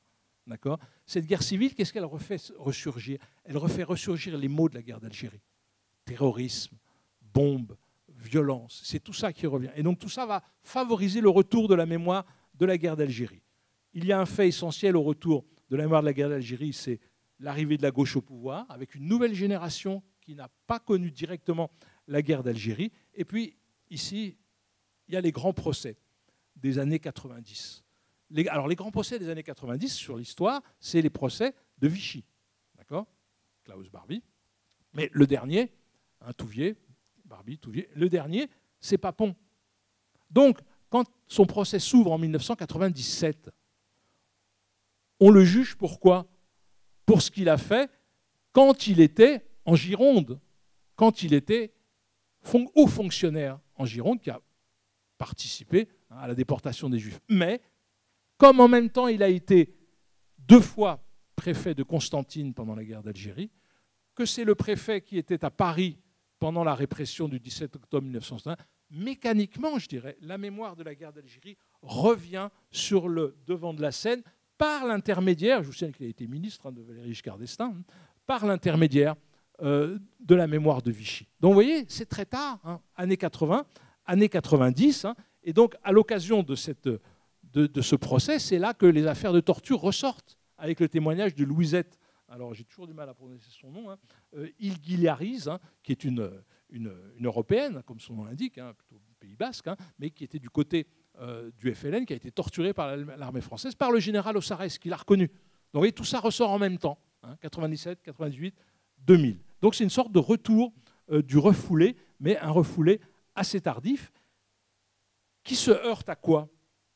Aux pratiques. Vous voyez, j'ai mis des proto-commémorations. Il faut bien imaginer que sur le terrain, dès les années 60, il y a des cérémonies à la mémoire de la guerre d'Algérie. Mais qui organise ces cérémonies? C'est les associations.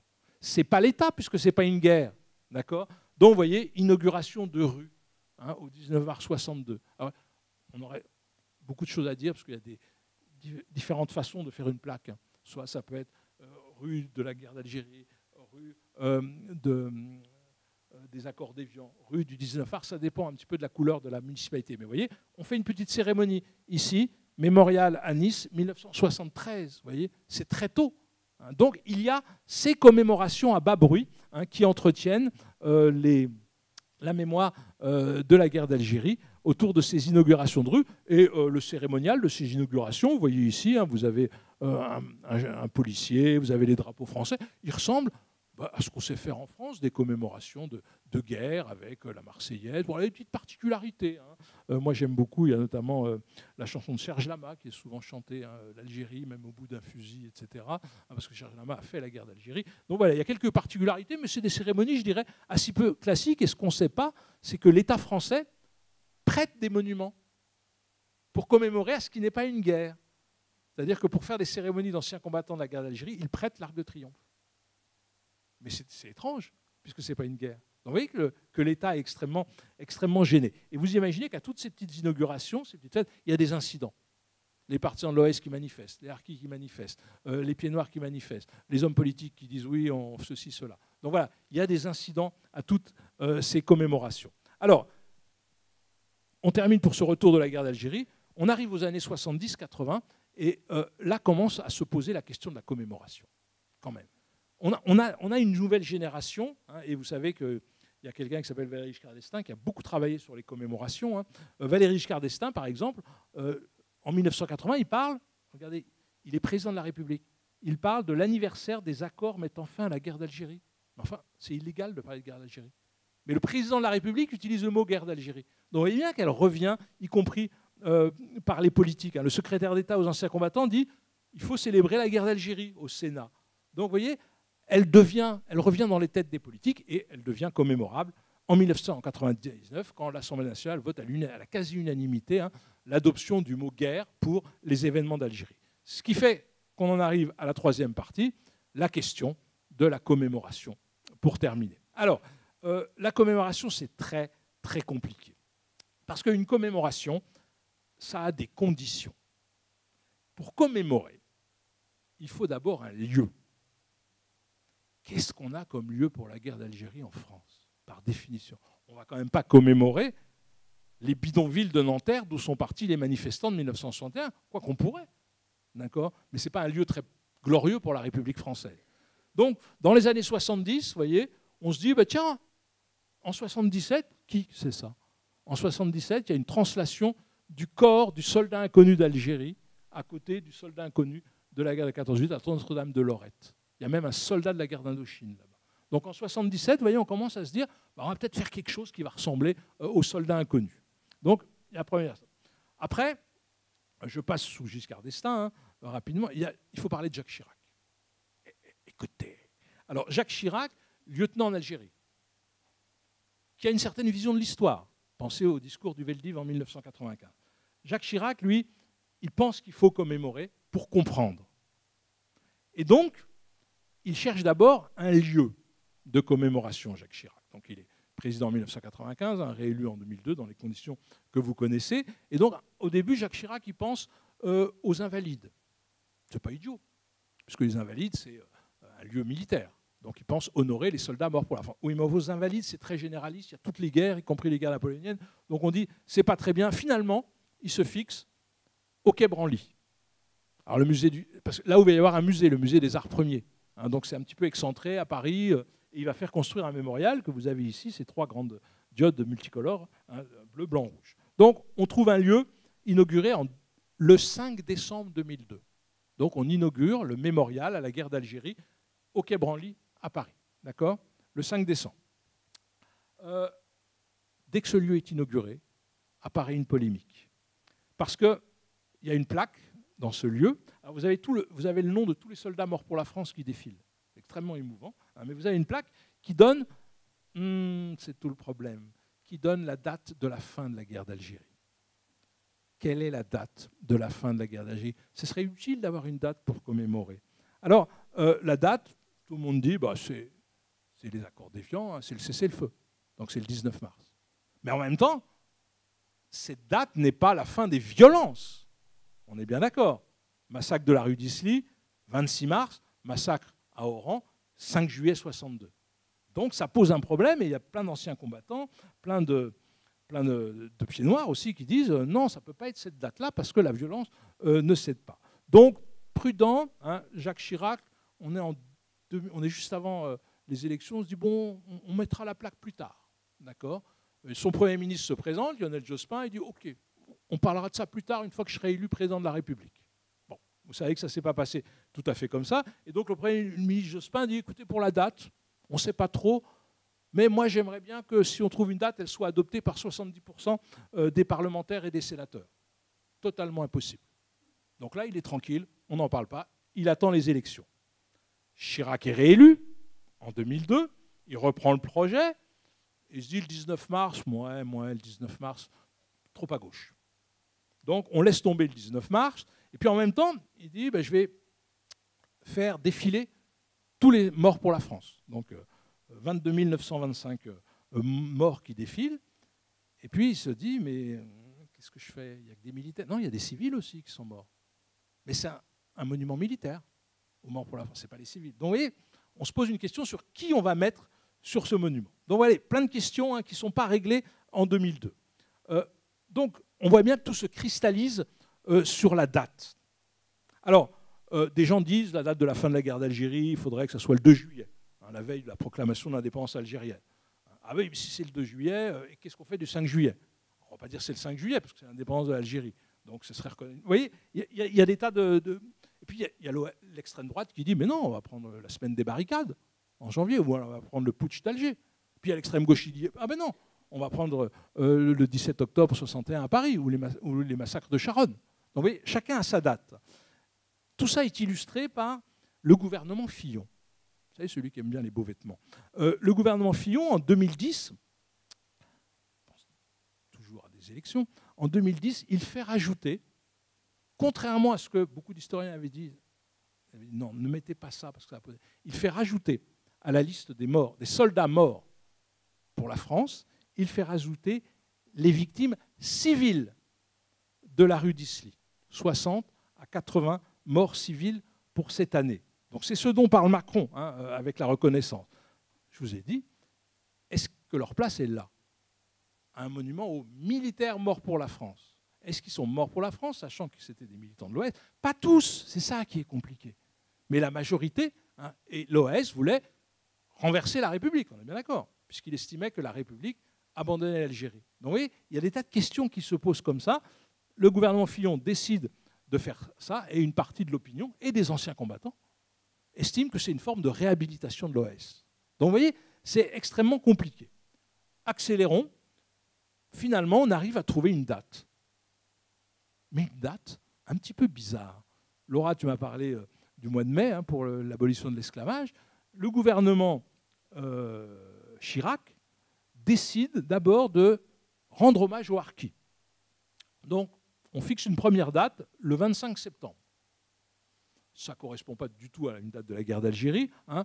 Euh, simplement, c'est en mémoire d'une première loi qui datait de 2001 pour graver dans le marbre euh, la loi de 1994 qui reconnaissait les torts de l'État français vis-à-vis des harkis. Donc, une journée nationale des harkis, le 25 septembre, hein, qui est un petit peu étrange. Mais c'est surtout la deuxième qui m'intéresse, celle que vous avez en bas, en, rouge, euh, c'est le 5 décembre. Le 5 décembre devient la journée nationale d'hommage aux morts pour la France pendant la guerre d'Algérie et les combats au Maroc et en Tunisie. C'est la dénomination officielle. Qu'est-ce que c'est que le 5 décembre vis-à-vis de la guerre? C'est rien du tout. C'est aucune date mémorielle. C'est la date de l'inauguration du monument du Quai Branly. Étrange. Non, non, mais très intéressant. Si on choisit le 5 décembre, on voit bien que c'est parce qu'il n'y a pas de consensus pour choisir une date qui concerne vraiment la guerre d'Algérie. Donc on prend la date d'inauguration du monument au Quai Branly, hein, comme la loi en mémoire de l'esclavage hein, et l'anniversaire du vote de la loi Taubira. Si on avait voulu prendre une date qui concerne l'abolition de l'esclavage, on pouvait prendre la date de l'abolition de l'esclavage par Schulcher, ou même mieux encore, celle de 1794, c'est-à-dire en février ou en mars. Donc vous voyez, quand on est embêté, on met une date qui n'a rien à voir avec les événements. C'est la majorité de droite qui choisit. Donc évidemment, l'UNC, Association d'anciens combattants de droite, est d'accord, dit ça c'est la date retenue par le gouvernement qui nous soutient, on l'accepte. Immédiatement, la FNACA, association plutôt de gauche, dit ça n'a aucun sens. Pour nous, la fin de la guerre d'Algérie, et ils ont raison d'un point de vue de, de l'État français, c'est le 19 mars, tout en disant ce n'est pas la fin des violences. D'accord? Ils font bien la nuance. Donc, la FNACA dit jamais on ne célébrera le 5 décembre. Donc, vous voyez, il y a une partie des anciens combattants qui ne se sont pas représentés par la date du 5 décembre. Donc, chaque camp politique, si vous voulez, a sa date. Donc évidemment, tout ça va alimenter les guerres des mémoires entre euh, les gens qui ont participé à la guerre d'Algérie.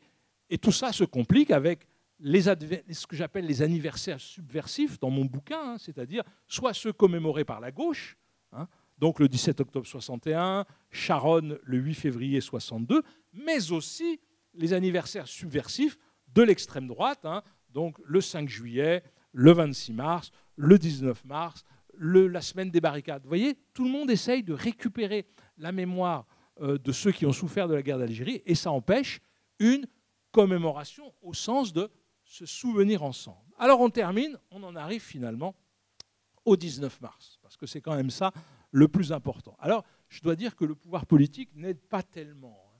On peut dire que le pouvoir politique est très embêté avec ces problèmes euh, de date. En 2003, par exemple, hein, le gouvernement dit oui, euh, c'est le 5 décembre, hein, mais en même temps, euh, on peut continuer à célébrer le 16 octobre, les massacres à Paris, et aussi le 19 mars. Donc même l'État dit, bah, je ne sais pas trop. J'ai une date, mais on peut en avoir d'autres. C'est un peu étrange. C'est la seule commémoration où ça arrive. Donc finalement, on en arrive au 19 mars. Alors, je vous ai mis en bas un petit sondage qui est très intéressant. Hein, c'est un sondage qui a été fait par l'IFOP. Hein. C'est sur euh, voulez-vous qu'on célèbre le 19 mars comme la fin de la guerre d'Algérie? Regardez les courbes bleues.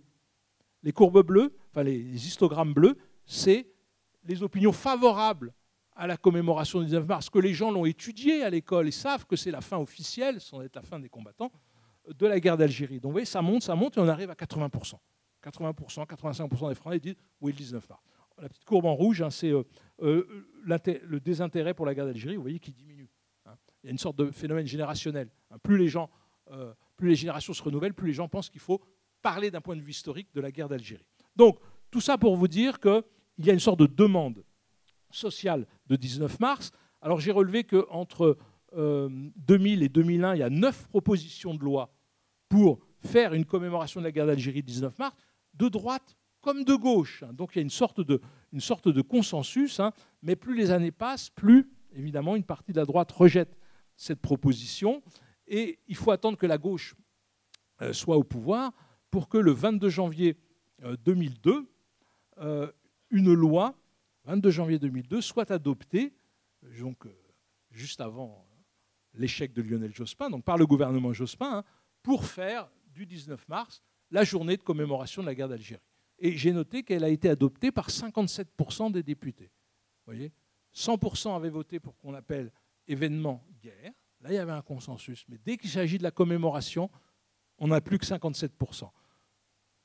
Cette loi euh, a été votée à l'Assemblée, il faut qu'elle passe au Sénat. Le Sénat n'est pas à droite, donc il faut attendre que le Sénat passe à gauche. Donc on oublie, il y a les élections, euh, l'échec de Lionel Jospin, donc je ne reviens pas sur ce que j'ai dit. Donc on, se recentre sur euh, le 5 euh, décembre, qui n'est pas célébré par la moitié des anciens combattants, ce qui est un petit peu gênant. Alors ça, c'est la théorie. Hein. Je me souviens avoir discuté avec le maire du Houlme, hein, et le maire du Houlme est communiste. Si, si, il y a encore des maires communistes, je vous jure, ça arrive. Hein. et euh, lui, il est plutôt pro-19 mars. Mais il me dit, oh, tous les anciens combattants d'Algérie sont pour le 5 décembre. Donc c'est le 19 mars, mais attendez, je ne vais pas arriver tout seul le 19 mars au monument aux morts hein, pour commémorer la guerre d'Algérie. Donc on, s'est réunis autour d'une table, hein, on, a on a bu un petit peu de calva, et on s'est mis, bon, on va le faire le 5 décembre. Et moi, communiste, j'accepte que ce soit le 5 décembre parce que ça satisfait euh, les anciens combattants. Donc vous voyez qu'il y a des arrangements à la base. Mais si vous discutez avec la direction, vous avez des, instructions hein, qui disent on ne célébrera pas le 5 décembre. La FNACA officielle dit ça avant que le 19 mars soit. Donc vous voyez que c'est extrêmement violent. Bon, je vais vite. Hein. Donc après, il y a le, le de Nicolas Sarkozy qui a posé beaucoup de problèmes aux historiens, mais on n'a pas le temps euh, d'en parler. Et finalement, c'est François Hollande hein, qui va faire du 19 mars la troisième journée algérienne, journée nationale du souvenir et du recueillement en mémoire des victimes civiles et militaires de la guerre d'Algérie et des combats au Maroc et en Tunisie, une loi adoptée le 8 novembre 2012 par le Sénat. Parce qu'il y a eu une toute petite fenêtre hein, pendant deux ans où le Sénat était à gauche. Donc, vous voyez, ça avait été voté par l'Assemblée, c'est voté par le Sénat. Donc, c'est définitivement adopté. Le Conseil constitutionnel valide cette loi, puisqu'il y a eu un recours au Conseil constitutionnel. Donc, ça devient une loi, mais immédiatement, plein de maires refusent de droite et surtout d'extrême droite refusent de célébrer cette date en disant ça ne met pas la fin à la guerre d'Algérie. Mais je vous signale quand même euh, que quand euh, le gouvernement a travaillé sur cette loi, donc en 2000, en 2000 et en 2002, sous le Jospin, il y a eu une commission d'études euh, de députés et de sénateurs. Le rapporteur de la commission d'études, transparti, hein, a dit on est pour le 19 mars, mais on sait bien, je n'ai pas la phrase exacte, hein, on sait bien que ce n'est pas la fin de la guerre. C'est la fin de la guerre d'un point de vue politique et administratif, mais c'est surtout pas la fin des violences qui durent jusqu'à la fin de l'année 62. Mais il faut trouver une date consensuelle, prenons celle-là, mais surtout ne disons pas que c'est la fin des violences en Algérie. Or, beaucoup de gens qui sont contre le 19 mars disent on est contre parce que ça nie tout le reste. Non, la République française, par ses parlementaires, a reconnu mais tout ça, c'est oublié.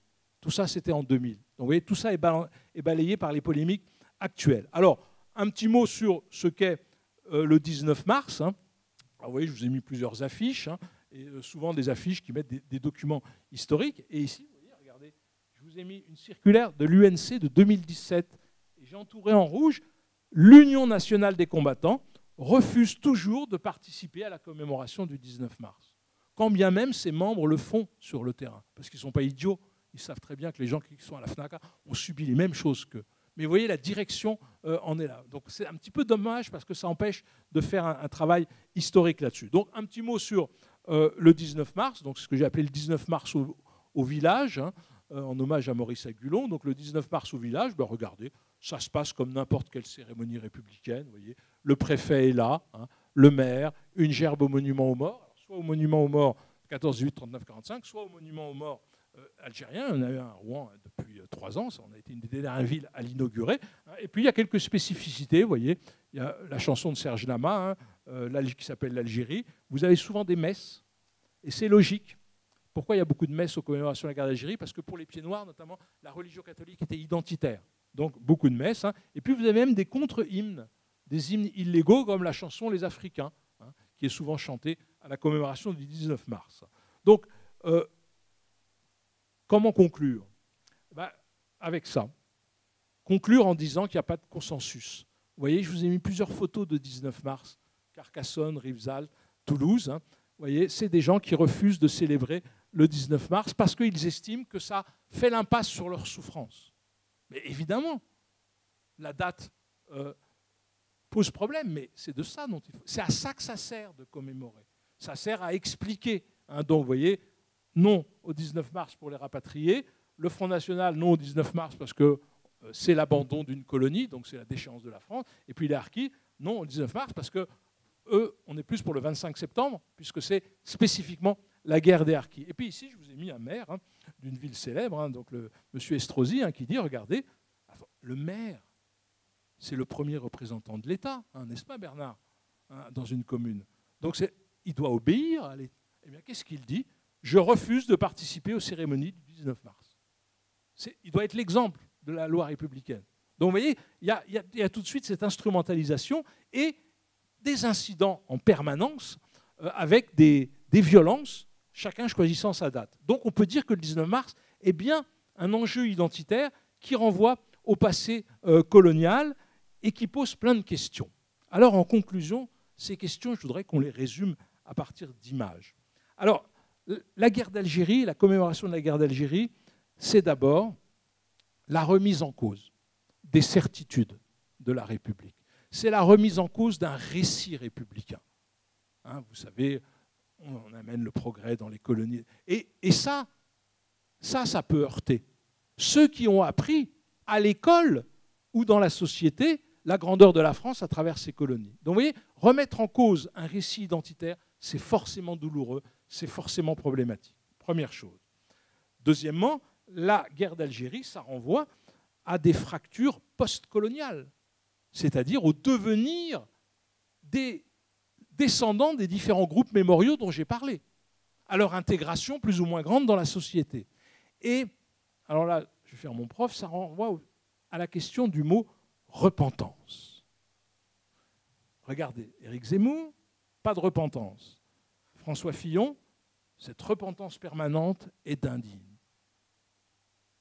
Ceux qui ne veulent pas qu'on travaille sur la guerre d'Algérie, à travers les commémorations, mais à travers l'université aussi, disent ceux qui dénigrent, nous on ne cherche pas à dénigrer, hein, on cherche à comprendre, l'action de la France, ceux qui sont contre la loi de 2005, euh, font œuvre de repentance. Mais non. Qu'est-ce que c'est que la repentance? Moi, quand j'étais petit, que j'allais au caté, je faisais de la repentance, mais à culpa, mais à maxima culpa, etc. C'est ma faute, c'est ma très grande faute. D'accord. Mais aucun historien ne veut faire ça.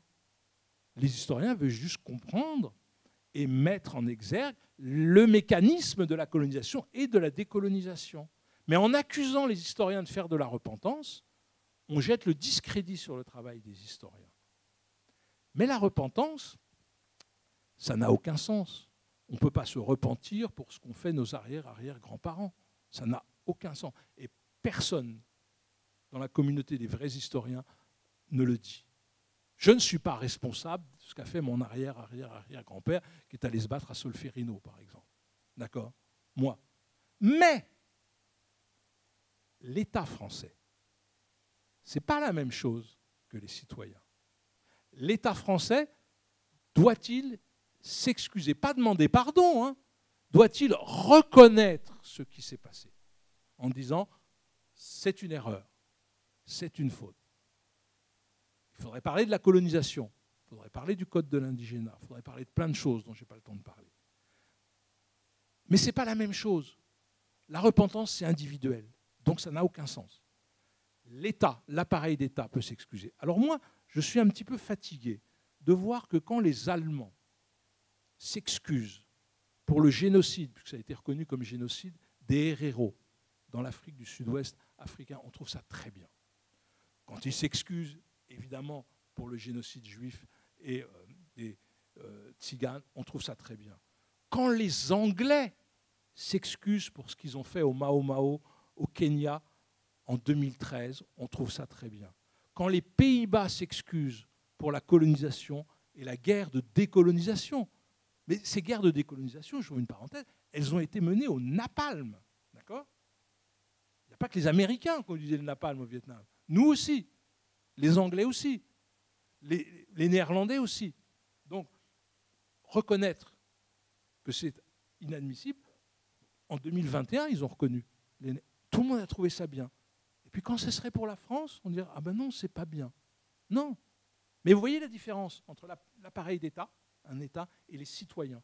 Personne ne demande aux citoyens de se repentir pour ce qu'ont fait leurs ancêtres.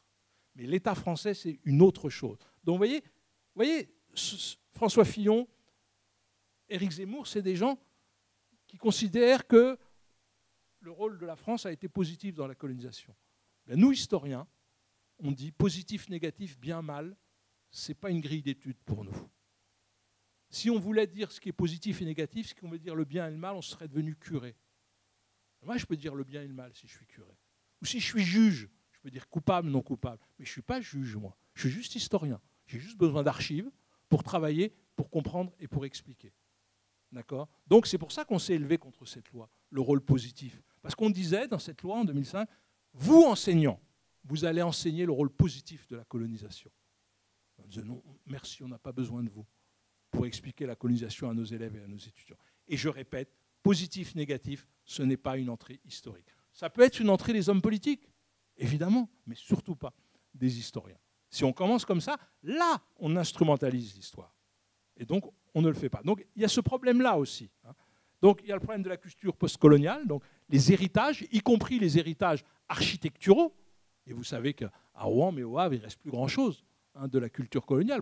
Alors, le Havre, parce que ça a été rasé en 1944. Rouen, les quais, il reste juste deux, trois petites têtes. Hein. mais si vous allez à Bordeaux, vous avez dans, à Nantes, vous avez les quais. Euh, des armateurs. Donc il y a une mémoire architecturale qui doit compléter une mémoire euh, humaine. Donc ça renvoie ça. Ça renvoie aussi à l'identité de la France. Je suis désolé. Hein, j'ai mis une caricature hein, amusante, mais vous voyez, qu'est-ce que c'est que la France? Est-ce qu'il y a une identité française pérenne et immuable? Est-ce que l'identité française change? Est-ce qu'elle est multiple? Vous voyez, ça, c'est des questions intéressantes. Mais c'est des questions intéressantes à partir du moment où on en travaille sans les instrumentaliser. Et donc, tout ça nous renvoie, pour vraiment terminer cette fois-ci, parce que j'ai beaucoup parlé, ça nous renvoie à la différence entre histoire. Alors, j'aime beaucoup ce bouquin, parce que le titre s'appelle La boîte à chagrin.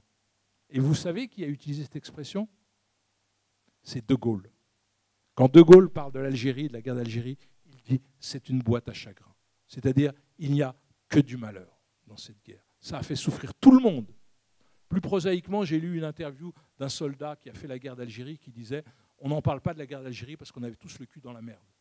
Ben, c'est un peu ça que dit De Gaulle. C'est vraiment une boîte, à, une boîte à chagrin et donc c'est difficile. Parce que le chagrin, c'est de la mémoire. C'est du sensitif. L'histoire, ça ne doit pas être ça. L'histoire, ça doit être de la rationalité.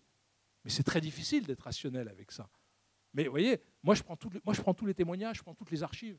Celle de l'OS, celle du FLN, pour moi, ça, c'est aussi intéressant. Mais si je suis un fils d'Algérien, évidemment, je privilégie la mémoire du FLN. Si je suis un fils de pied noir, la mémoire du FLN. Mais nous, on ne doit pas être là-dedans. Et donc, ça nous renvoie à cette différence entre histoire et mémoire. Donc, vous voyez, l'histoire rationnelle, froide, je prends, et la mémoire affective. Et n'oubliez jamais que la mémoire, elle est identitaire. Qu'est-ce qui crée un groupe C'est souvent sa mémoire. Donc, le groupe des descendants euh, de Harki, mais aussi le groupe des, descendants d'Arméniens, c'est évidemment le, le, génocide. Vous voyez Donc, évidemment, c'est du sensitif c'est de l'émotionnel. Donc c'est très difficile d'expliquer des choses à des gens qui ont bâti leur identité sur leur mémoire, qui est tout, tout, et c'est bien normal, sauf objective. On a tous une mémoire. D'accord? Et donc nous, on essaye d'historiciser ça, et c'est pour ça, hein, Tramor Kamener, qui travaille là-dessus, euh, l'a dit récemment, c'est pour ça qu'on arrive un peu mieux à travailler sur la guerre d'Algérie. Parce qu'il y a le phénomène des générations, tout simplement. On en est à la troisième, quatrième génération de descendants donc les, acteurs meurent, il y en a de moins en moins, et donc les mémoires se pacifient. Mais ça s'est passé exactement comme ça pour la Seconde Guerre mondiale et pour la Première Guerre mondiale. Donc vous voyez, l'intérêt de ces commémorations, ça doit être de parler de tout ça. Et là, je suis assez content, par exemple, pour ce 19 mars, pour ce 60e anniversaire, qu'il y ait tous ces documentaires, qui sont, je vous l'ai dit, extrêmement différents, mais qui montrent différentes manières de faire l'histoire. Il y a des tas de choses qui se font dans l'établissement scolaire. Hein. Euh, coucou mes anciens étudiants, euh, qui sont devenus profs maintenant. Euh, donc il y a des tas de choses qui se font et je pense qu'on finira par y arriver. Mais il faut que les États, les politiques n'instrumentalisent pas. Je n'ai pas le temps de vous parler de la mémoire de la guerre d'Algérie en Algérie. Mais là, c'est terrible, parce que la guerre d'Algérie, pour l'Algérie, c'est quoi? C'est le mythe fondateur. Un mythe fondateur dans une dans un groupe, on n'y touche pas. Parce que si on touche au mythe fondateur, eh bien c'est l'identité du groupe qui s'effondre. Donc évidemment, il y a des tabous chez nous pour la guerre d'Algérie, vous les avez vus, mais il y a des tabous en Algérie. Évidemment, le groupe fonctionne de manière manichéenne, les bons, les méchants. Ça, vous voyez, c'est pas, ça, c'est pas historique. Mais c'est normal parce que c'est ce qui fonde leur identité. Donc il y a des tas d'archives qui ne sont pas ouvertes en Algérie. Euh, le récit de la guerre d'Algérie, c'est un récit héroïque, où évidemment il y a des bons et les méchants. Alors vous avez vu que c'est beaucoup plus compliqué que ça. Mais vous voyez, les bréchés, pour la génération, hein, l'ancien président euh, qui est mort hein, avait participé à la guerre d'Algérie. Hein. L'ancienne génération ne pouvait pas toucher à ça. Peut-être que la nouvelle génération pourra y arriver, exactement comme en France. Et je vous remercie d'être venu m'écouter. Voilà.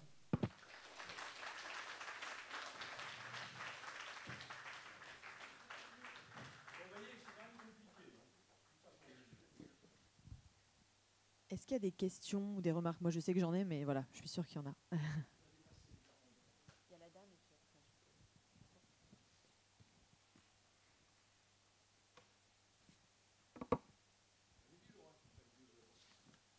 Bonjour. Vous m'entendez? Donc, euh, je me présente, je, suis, je suis euh, je vous dis mon nom, je m'appelle Amish, mon nom de famille. Euh, je suis enfant d'Arki. J'ai travaillé en 1985 dans une association qu'on appelle pour les rapatriés, donc qui fait partie de l'État. Je vous ai écouté parler tout à l'heure. Donc, qui fait partie de l'État, c'est l'État qui décide avec le gouvernement algérien pour redonner ce qui appartient aux gens qui sont venus ici euh, dû, comme vous dites, euh, dû à la guerre de, enfin, la guerre d'Algérie. Euh, mes parents m'ont raconté l'histoire ah, de mes grands-parents. Vos parents vous ont raconté Oui, et j'ai des photos dans. Parce que c'est rare justement que les parents racontent. Donc mes parents m'ont raconté. Il y a des choses qui sont tabous qu'on ne dit pas. Mais ma mère m'a raconté qu'en Algérie, j'ai été en Algérie en 2020. Je ne connaissais pas l'Algérie du tout, du tout. Je suis née ici. Et tout ce qu'on m'a raconté, c'était archi faux. J'ai grandi avec des mensonges, entre autres, dans ma tête. Et quand je suis arrivée là-bas, j'ai vu euh, Paris. Alger, c'est Paris. Et j'ai vu que c'est des gens magnifiques, un pays super beau, comme dirait Camus. Euh, franchement, je vous le dis, je suis artiste en plus. Euh, j'ai trouvé le pays magnifique. Mais je suis née ici, j'ai un petit problème, c'est que pour y vivre, je ne pourrais pas. Mais c'est un beau pays, c'est vrai. Mais le problème, c'est que mon père est décédé et j'ai appris à la mairie qu'on m'a dit votre père, il n'est pas algérien. Il est français. il est né en 1930, c'était la colonisation française. Alors mon père, lui, il me racontait ce qui se passait. Il s'est jamais caché. Il a dit oui, on s'entendait bien entre nous. Votre ta mère travaillait dans une truc de poissonnerie. Euh, les, pieds noirs, on s'entendait très bien. Ils sont venus justement chez mes parents dans les années 70 j'ai grandi sur Grand Couronne. Et puis, euh, c'était vraiment, on a eu, moi je vous le dis franchement, on a, vécu près d'une forêt, un cimetière face à un cimetière.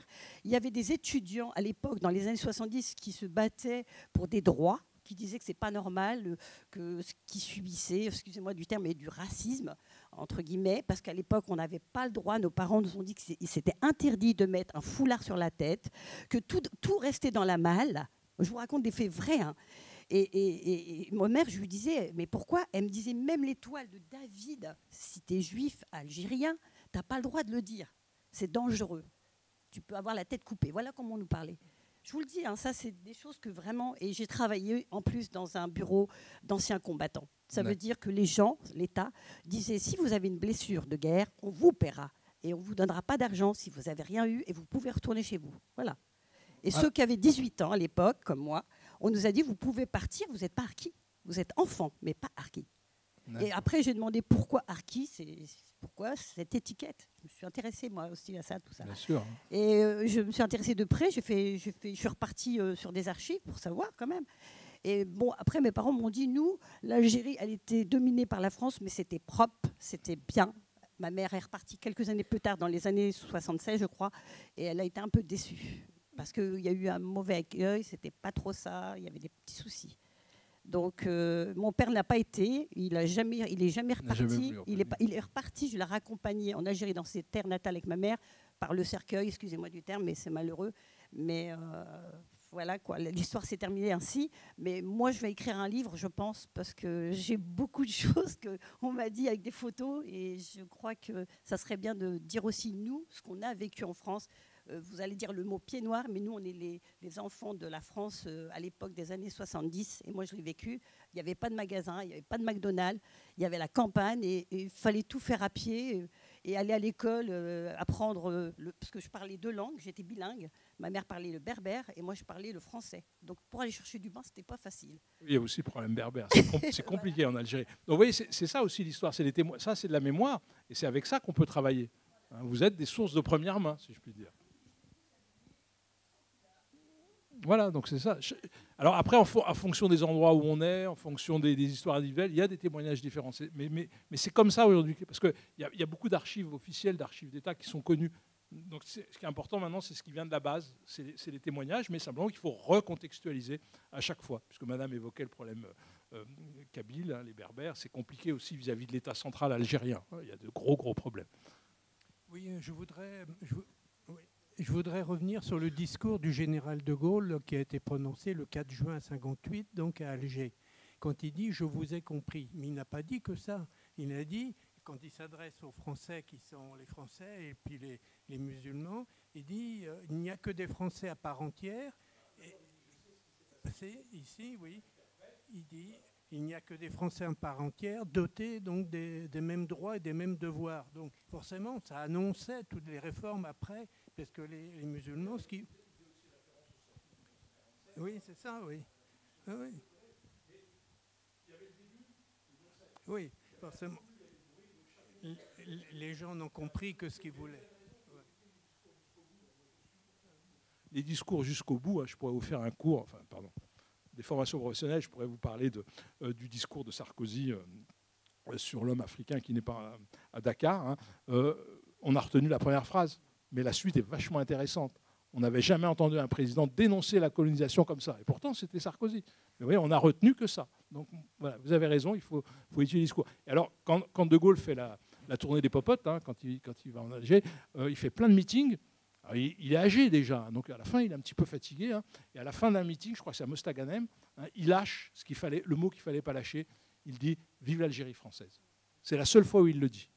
Bah, évidemment, pour la majorité des pieds noirs, ça voulait dire on va rester, euh, on va rester dans la République française, ça ne va pas bouger. Et c'est à partir de là que, que les, les dissensions se sont multipliées entre ce qu'il a fait et puis ce qu'il a dit, et ce que les gens pensaient aussi avoir entendu, parce que vous avez bien compris que l'histoire, c'est une question de représentation. Comment on se représente le monde, comment on se représente l'autre. Moi, j'avais une question, donc je la pose, et puis ensuite je refais tourner le micro. J'ai deux questions, en fait. Une première question sur, la, comme tu parlais un peu de la spécificité française, de la non-reconnaissance euh, d'un certain nombre de faits historiques. Euh, alors, enfin, il y a effectivement cette question de, de, euh, de, la guerre d'Algérie et de, la non-excuse, en tout cas de la non-reconnaissance d'un certain nombre de choses. Est-ce que finalement la question du génocide au Rwanda et du rôle aussi de la, de la France, de l'État français sur un certain nombre de plans fait aussi, voilà, est-ce que c'est aussi pas forcément que la spécificité de la guerre d'Algérie, mais aussi de l'État français? Et est-ce que ça a un lien avec ces enjeux de mémoire qui sont tellement forts politiquement que du coup ça nous empêche aussi parfois de reconnaître l'histoire telle qu'elle est Et ma deuxième question, comme ça je fais les deux et puis après tu réponds. J'espère pas oublier parce que je suis vieux maintenant. Ma deuxième question, c'est euh, que effectivement dans l'exposé tu parles pas du tout de euh, d'une autre mémoire qui, bah qui est aussi une mémoire française, qui est celle des descendants d'Algériens venus en France avant, pendant, après la guerre.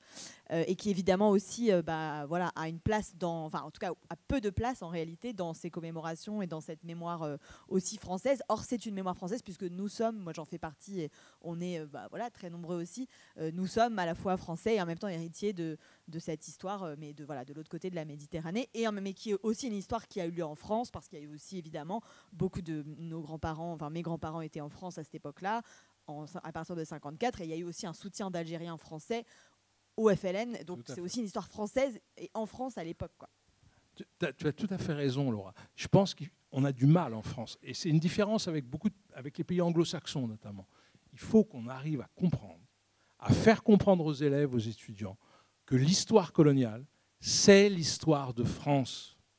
D'accord? L'histoire des colonies, c'est aussi l'histoire de France. Il n'y a pas une histoire de la métropole et puis de territoires annexes. Non, tout ça, ça fait partie de la même histoire, y compris avec les choses qui s'y sont passées de manière horrible. Vous voyez, c'est juste de l'histoire. C'est ça la, France. Et autant les pays anglo-saxons l'ont fait, on le voit parce qu'il y a des musées de la colonisation. Hein, on est le dernier grand pays euh, colonial à ne pas avoir de musée national de la colonisation. Il y a le musée de l'immigration hein, à la Porte Dorée à Paris, auquel je vous invite à aller parce que c'est un témoignage de la culture coloniale absolument remarquable, mais il n'y a pas de musée de la colonisation. en Angleterre, il y en a plein. Et il y a des musées qui expliquent qu'avant l'arrivée des colons, qu'avant l'arrivée euh, du fardeau de l'homme blanc, eh bien, il y avait des civilisations. Ouais, il y avait des civilisations et quelquefois elles étaient très avancées. Que tout n'a pas commencé avec l'homme blanc. Vous voyez? Ben Ça, ça se traite de manière historique dans des musées. Et ça, on n'a pas. Alors, il y a des musées locaux. Hein. il y en a à Nantes, hein. il y en a un petit à La Rochelle, etc. Hein. Euh, le seul musée qui parle de colonisation, c'est, il est outre-mer. C'est aussi intéressant C'est comme si la colonisation, c'était un phénomène ultramarin. Mais non, c'est un phénomène français qui concerne autant la métropole par les descendants comme par les monuments, comme par les... Une fois qu'on aura admis ça, et que donc l'histoire de France, c'est aussi l'histoire de la spoliation, l'histoire du vol, l'histoire de la violence, hein, donnée par y compris la République, eh ben je pense qu'on aura fait un grand pas.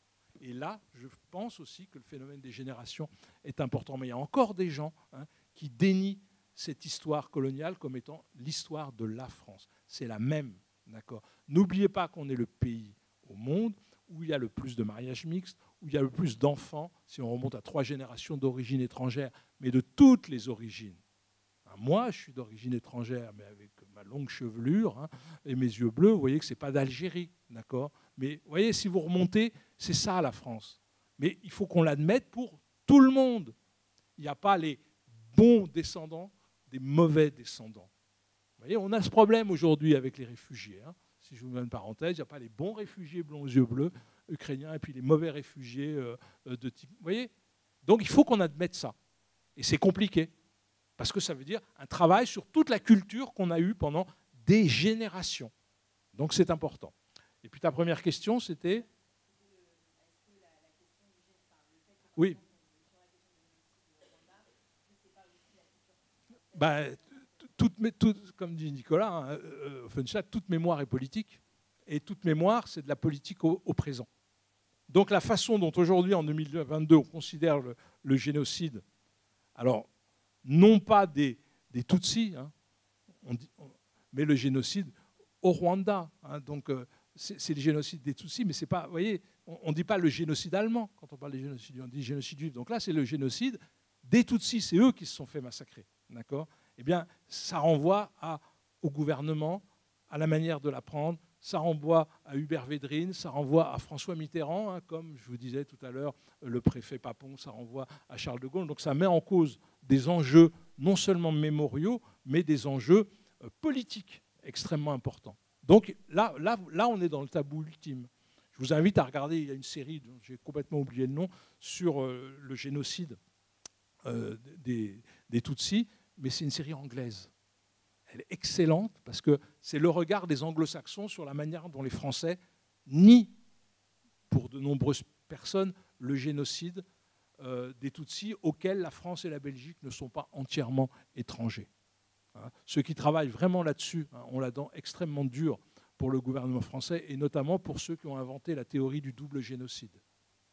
C'est-à-dire, ouais, les Tutsis se sont fait massacrer. Un million, d'accord, à la machette, d'accord. Hein. ils se sont fait massacrer, mais il y a eu aussi des morts Hutus. Donc finalement, il y a eu deux massacres.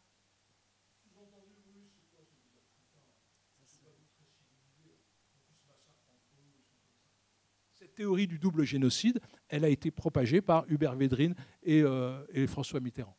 Donc vous comprenez que ce soit difficile d'en parler aujourd'hui mais c'est une façon de contourner. Donc, toute mémoire, c'est de la politique, mais au présent, contrairement à ce qu'on pense. D'accord? Donc, c'est une très bonne question. Je me demande où tu es allé au lycée, toi, franchement. Bonsoir. Bonsoir. Euh, moi, je voudrais parler de. Mettez bien le micro. Alors, comme ça C'est bon?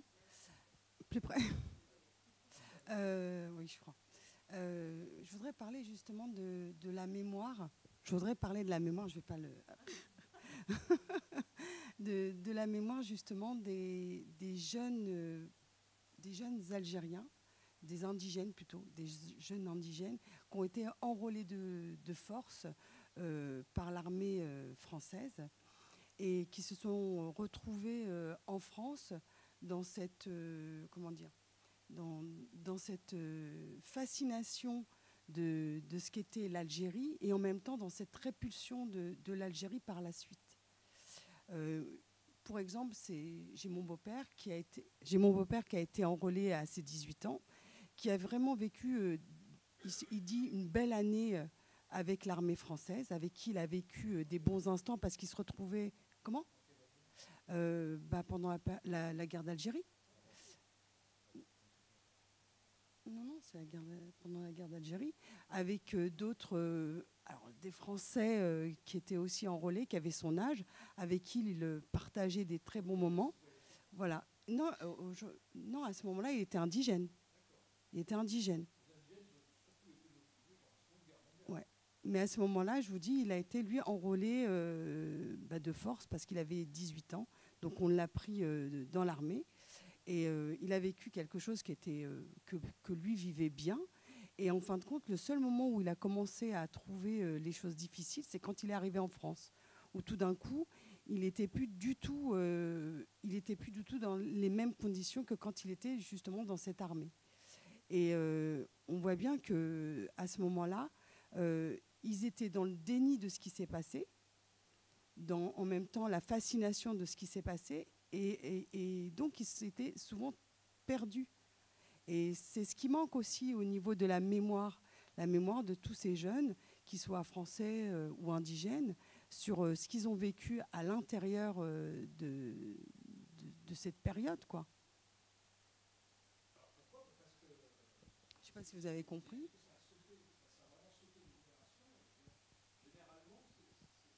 Faut mettre le, micro, sinon le, on ne peut pas capter le son. C'est les troisièmes générations hein, qui, en parlent, donc ça peut être euh, vos enfants si c'est vos, parents, parce que c'est plus facile, parce que ce n'est pas un rapport direct avec le traumatisme vécu. Quand c'est différé par, un, par un intermédiaire, donc par euh, un fils, ça, peut passer mieux. Mais, chaque, vous voyez, chaque situation est particulière, parce que euh, votre beau-père, il il était né où? Ouais. Et il a fait la guerre d'Algérie dans, dans, les rangs français. Donc c'était un supplétif, comme on dit.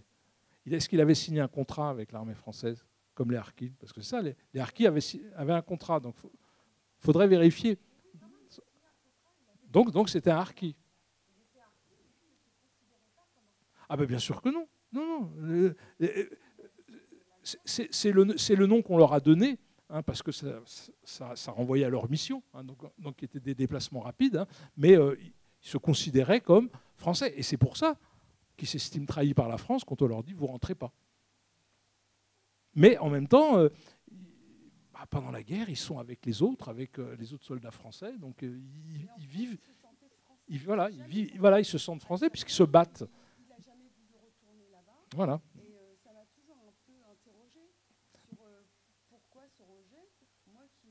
Mais vous en a parlé, votre père, votre beau-père? Et vous avez noté tout ce qu'il a dit? Voilà, il faut noter, il faut enregistrer, euh, parce que c'est...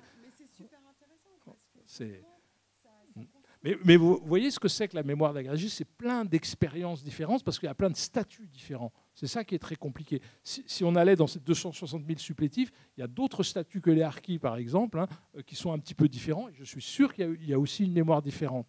Donc, comme c'est des destins individuels, évidemment, les expériences et donc le retour d'expérience est extrêmement difficile. Donc nous, quand on fait des choses, on schématise évidemment.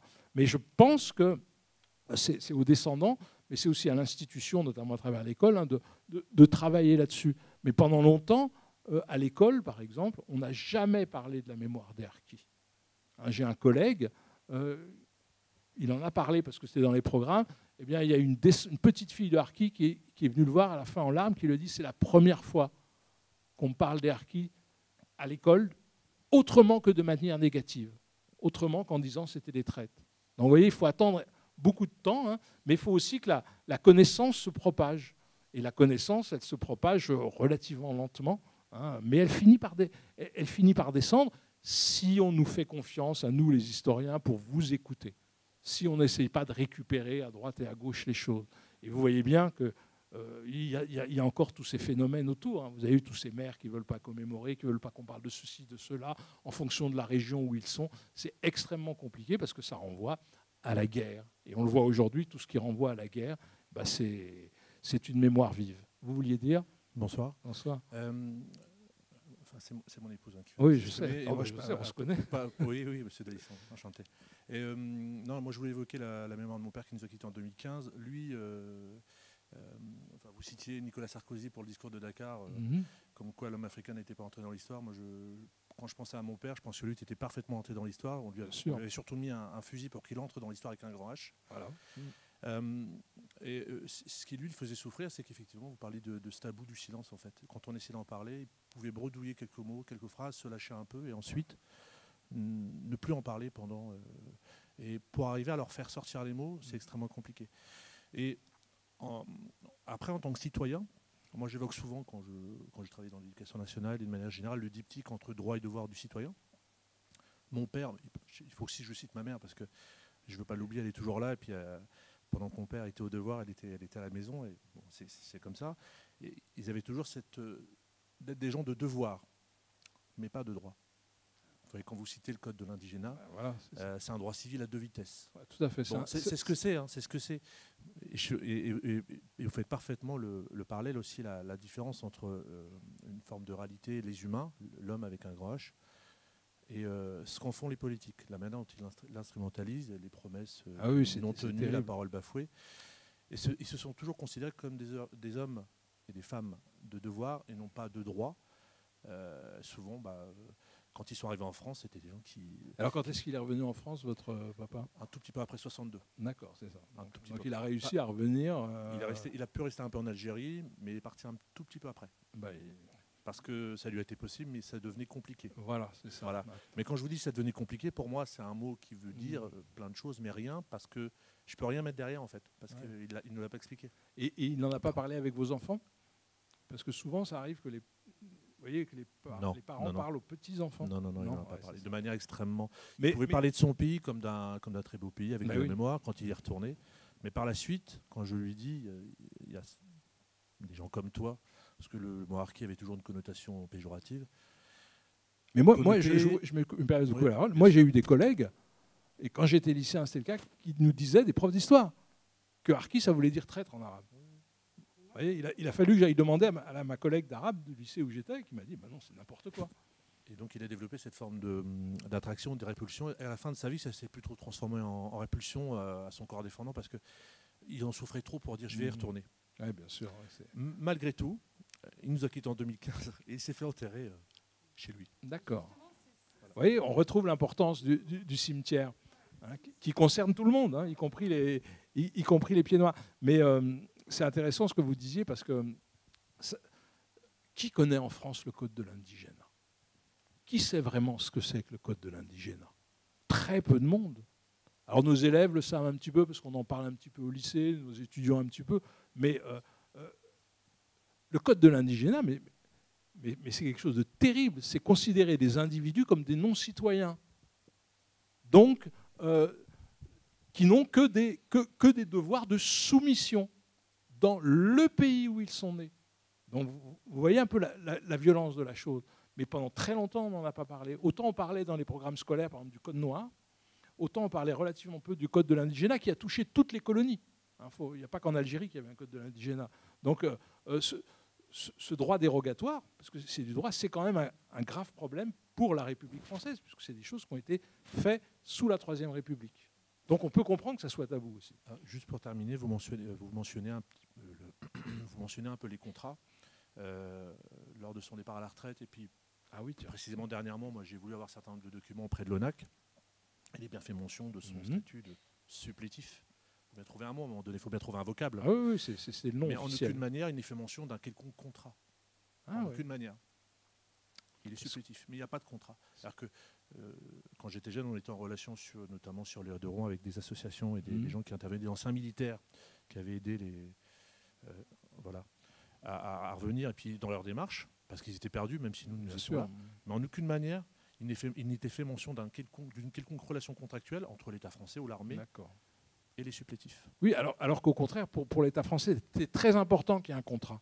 Parce que c'était des gens qui se battaient avec une sorte de contrat de travail, et ce n'était pas un groupe qui pouvait revendiquer après une, identité ou une appartenance à l'armée française. Donc il fallait que ce soit des choses individuelles, ce qui, en cas de problème, permettait de, contourner, euh, de contourner les problèmes. Donc vous voyez, tout, ça, hein, mais, il faudrait qu'on en parle mais je ne sais pas comment. Alors moi, je pense que moi, je fais confiance dans l'intelligence des gens. Hein. Je pense qu'on peut en parler euh, dans les médias, etc. Mais Laura, tu parlais de la vérité. Hein. Aujourd'hui, on est à l'ère des, vérités alternatives, hein, des fake news. Donc il y a des gens qui disent que la vérité n'est pas vraie, que chacun doit avoir sa vérité. Donc c'est-à-dire qu'on se retrouve une fois de plus dans la mémoire, qui est le contraire de l'histoire. Mais c'est un témoignage, c'est un témoignage intéressant. Une dernière euh, question et puis ensuite euh, on conclura. Mais merci. Merci. Peut-être pour rebondir sur votre dernière phrase. Donc, je suis Caroline Camirap, hein, je suis architecte. C'est moi qui ai conçu le mémorial des disparus sénomarins. Ah, Très bien. Et juste un petit clin d'œil parce que j'ai vraiment beaucoup apprécié ce que vous avez dit. Et, en fin de compte, le, mémorial, quand on l'a conçu euh, avec M. Marchand et avec, euh, avec le, euh, le, sculpteur Jean-Marc Depas, on a voulu justement créer un lieu universel, un lieu dans lequel, où il y avait vraiment le, don commémoré, c'est-à-dire se, souvenir ensemble. Et j'ai juste envie, enfin, mon, mon clin d'œil, c'est-à-dire, nous avons voulu créer un lieu justement où on peut se retrouver pour parler, parce que la mémoire, c'est d'abord la parole.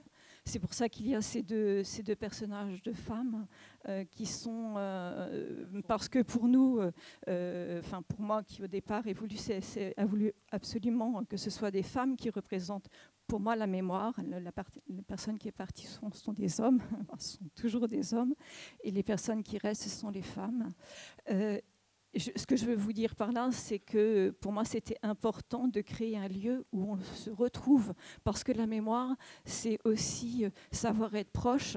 C'est pour ça que ces personnages sont sur des bancs et qui nous laissent une place vide à côté pour qu'on puisse s'asseoir à côté de ces personnes pour parler, pour donner un temps à la mémoire, un temps juste, un, temps de parole, un temps d'échange. Mais, c'est ça qui est difficile avec la mémoire, parce que c'est du sensible, justement. Mais le, le passe au milieu, c'est aussi l'absent. Donc c'est le soldat mort aussi. Exactement. Et, et, cet absent, il, il, est, euh, il est dans ces. Dans, je ne sais pas si euh, certaines personnes euh, ça parle, ce, ce lieu, parce que ce vide, ce vide a été créé, a été dessiné, et existe en fin de compte dans cette forme qui se trouve entre les deux personnages. C'est-à-dire que les deux personnages sur les bancs, en fin de compte, met en forme un, vide mm. entre les deux. Voilà. Donc ça, c'était le, travail de, de, de Jean marque de pas. Mais enfin, j'ai beaucoup apprécié de votre part, effectivement, euh, moi pour l'avoir vécu pendant quatre ans où j'ai porté ce projet euh, à bout de bras euh, d'une conception d'un lieu de mémoire, ça a été pour moi difficile, en fin de compte, de m'extraire de, de de, tout, de toutes les mémoires et, euh, et d'en faire un lieu universel. Je pense que la première chose que l'on doit donner à la mémoire, c'est d'essayer de faire en sorte de lui retirer euh, euh, ce qui, ce qui prend là pour qu'effectivement la parole sorte. Peut-être que c'était ça qui était compliqué. Et puis qu'on puisse après mm. comprendre. voilà, et que l'on puisse effectivement aller vers les générations qui n'ont pas connu. Mais ce qui est intéressant, c'est que j'avais noté que Rouen était une des, dernières grandes villes on est à avoir un monument. Et ça, ce exactement. savoir on, pourquoi. Était, on était la dernière, avec une belle démarche, parce qu'en fin de compte, au départ, la ville de Rouen euh, nous avait donné euh, un tout petit euh, bout de terrain vraiment insignifiant, et sur 300 mètres carrés de terrain vraiment insignifiant, et entre deux, deux, deux feux de circulation. Et en présentant en fin de compte le projet, le maire de Rouen nous a dit Ah non, mais on ne va pas le mettre là, on va le mettre sur la place Carnot. Voilà. On pourrait en parler longtemps, mais il y, avait déjà. Peut-être que c'est intéressant, effectivement, le fait que c'était arrivé euh, peut-être sur les derniers, et puis euh, où il s'était passé du temps, où on a pu effectivement mettre ce lieu euh, à un, endroit stratégique, en tout cas, dans le passage. Mais il est fait pour ça, il est fait pour la je mémoire. Je trouve ça bien qu'il y ait le monument mort de 14 pas loin. Enfin bon, ça c'est. Parce que je travaillais beaucoup sur la Grande. Mais quand je vous disais que tout ça, c'est l'histoire de France, si vous additionnez les descendants de pieds noirs de tout le Maghreb, plus les descendants d'autres colonies, mais ça fait des millions de personnes. Si vous additionnez en plus les descendants de soldats, 1 500 000 qui sont, qui se sont battus, mais ça fait des dizaines de millions de Français qui ont à voir avec cet ailleurs colonial. Donc ça prouve bien que l'ailleurs colonial, c'est l'histoire de France. Et ne pas le dire, bah, c'est fracturer d'une certaine manière euh, l'identité de la France, qui est aussi ça. Mais moi, j'ai été étonné quand j'ai travaillé sur ce bouquin hein, du nombre de, gens, de personnes, je n'aurais jamais pensé parce que je les côtoyais tous les jours. Ah, mais euh, moi, je sais, euh, je, suis. mes grands-parents sont nés au Maroc. Ah ben non, ils sont nés en Tunisie. Ah ben ils sont nés en Algérie. ah ils sont nés à Madagascar. donc je me suis aperçu que les descendants de ce qu'on appellerait généralement les, pieds noirs, mais en fait les, les, Français outre-mer, hein, mais c'est extrêmement nombreux. Et pareil pour la guerre d'Algérie. Un million de personnes, si vous multipliez par le nombre d'enfants, puisque c'est des jeunes qui sont venus, qui ont eu des enfants, ça fait beaucoup, beaucoup de monde. Et ça, il ne faut jamais l'oublier. Et si on l'oublie, ben, ça va alimenter la fracture entre le haut et le bas, entre les politiques et, euh, et la société. Et ça, c'est pas bon. Voilà. Il suffit de voir ce qui se passe en ce moment. Merci, euh, merci beaucoup. Euh, pour conclure, juste euh, bah, d'abord te remercier Rémi pour le passionnant. je crois qu'on a tous été passionnés. Il n'y a eu quasiment aucun bruit dans la salle pendant tout ton exposé. donc c'était vraiment extrêmement, extrêmement intéressant. Et puis en même temps, vous remercier aussi parce que on conçoit aussi les débats des mémoires par définition comme des débats, des exercices d'échange et de dialogue. Et on voit bien, je trouve que voilà, dans cette soirée, on a bien vu plein de mémoires en lien avec, avec l'Algérie s'exprimer. C'est aussi un peu, un peu émouvant. Euh, mais, euh, mais voilà, c'est aussi finalement tirer un fil et, essayer de poursuivre euh, ces échanges par la suite. Donc encore une fois, il y aura cet après-midi à, d'abord les commémorations à 11h, place Carnot euh, effectivement, hein, euh, euh, le 19 mars, samedi après-midi, et puis donc ce, ciné, enfin samedi matin, pardon, et ce ciné-débat à 15h, qui sera aussi l'occasion de poursuivre le dialogue. Et moi, ce que je trouve, enfin, tu disais comment on peut faire pour récupérer tous ces, tous ces témoignages et pour essayer aussi de leur, permettre de sortir, parce que finalement, quand on a un témoignage, c'est aussi avoir la légitimité de l'exprimer, un endroit aussi, un espace où le dire. Je, pense, je suis persuadée, moi, que c'est extrêmement important, et on l'a vu là, en fait, c'est aussi beaucoup des expériences personnelles qui s'expriment, et c'est normal. Euh, et donc moi, je, voilà, avec euh, l'équipe qui travaille sur les débats des mémoires, euh, Karine Valin, Claire Paulet, Marie Picard, qui sont là ce soir, et puis avec les, historiens aussi, je trouve qu'on a vraiment un travail, et évidemment avec la population, à faire pour aller chercher ces, histoires, ces mémoires, et, puis peut-être voilà, donner à voir aussi ce que c'est que bah, cette mémoire de la guerre d'Algérie à Rouen. Euh, parce que là, on a parlé beaucoup évidemment de cet enjeu national pour la, société française en général, mais c'est aussi euh, bah, voilà, une histoire rouennaise, euh, puisque c'est une histoire française. donc, je vous invite, si vous ne l'avez pas fait, à, laisser vos coordonnées aussi pour qu'on puisse vous recontacter si vous le souhaitez, hein, pour travailler sur ces futurs projets. et puis, peut-être qu'on se reverra bientôt. En tout cas, merci d'être resté et puis pour votre participation. Bonne soirée à toutes et merci Rémi.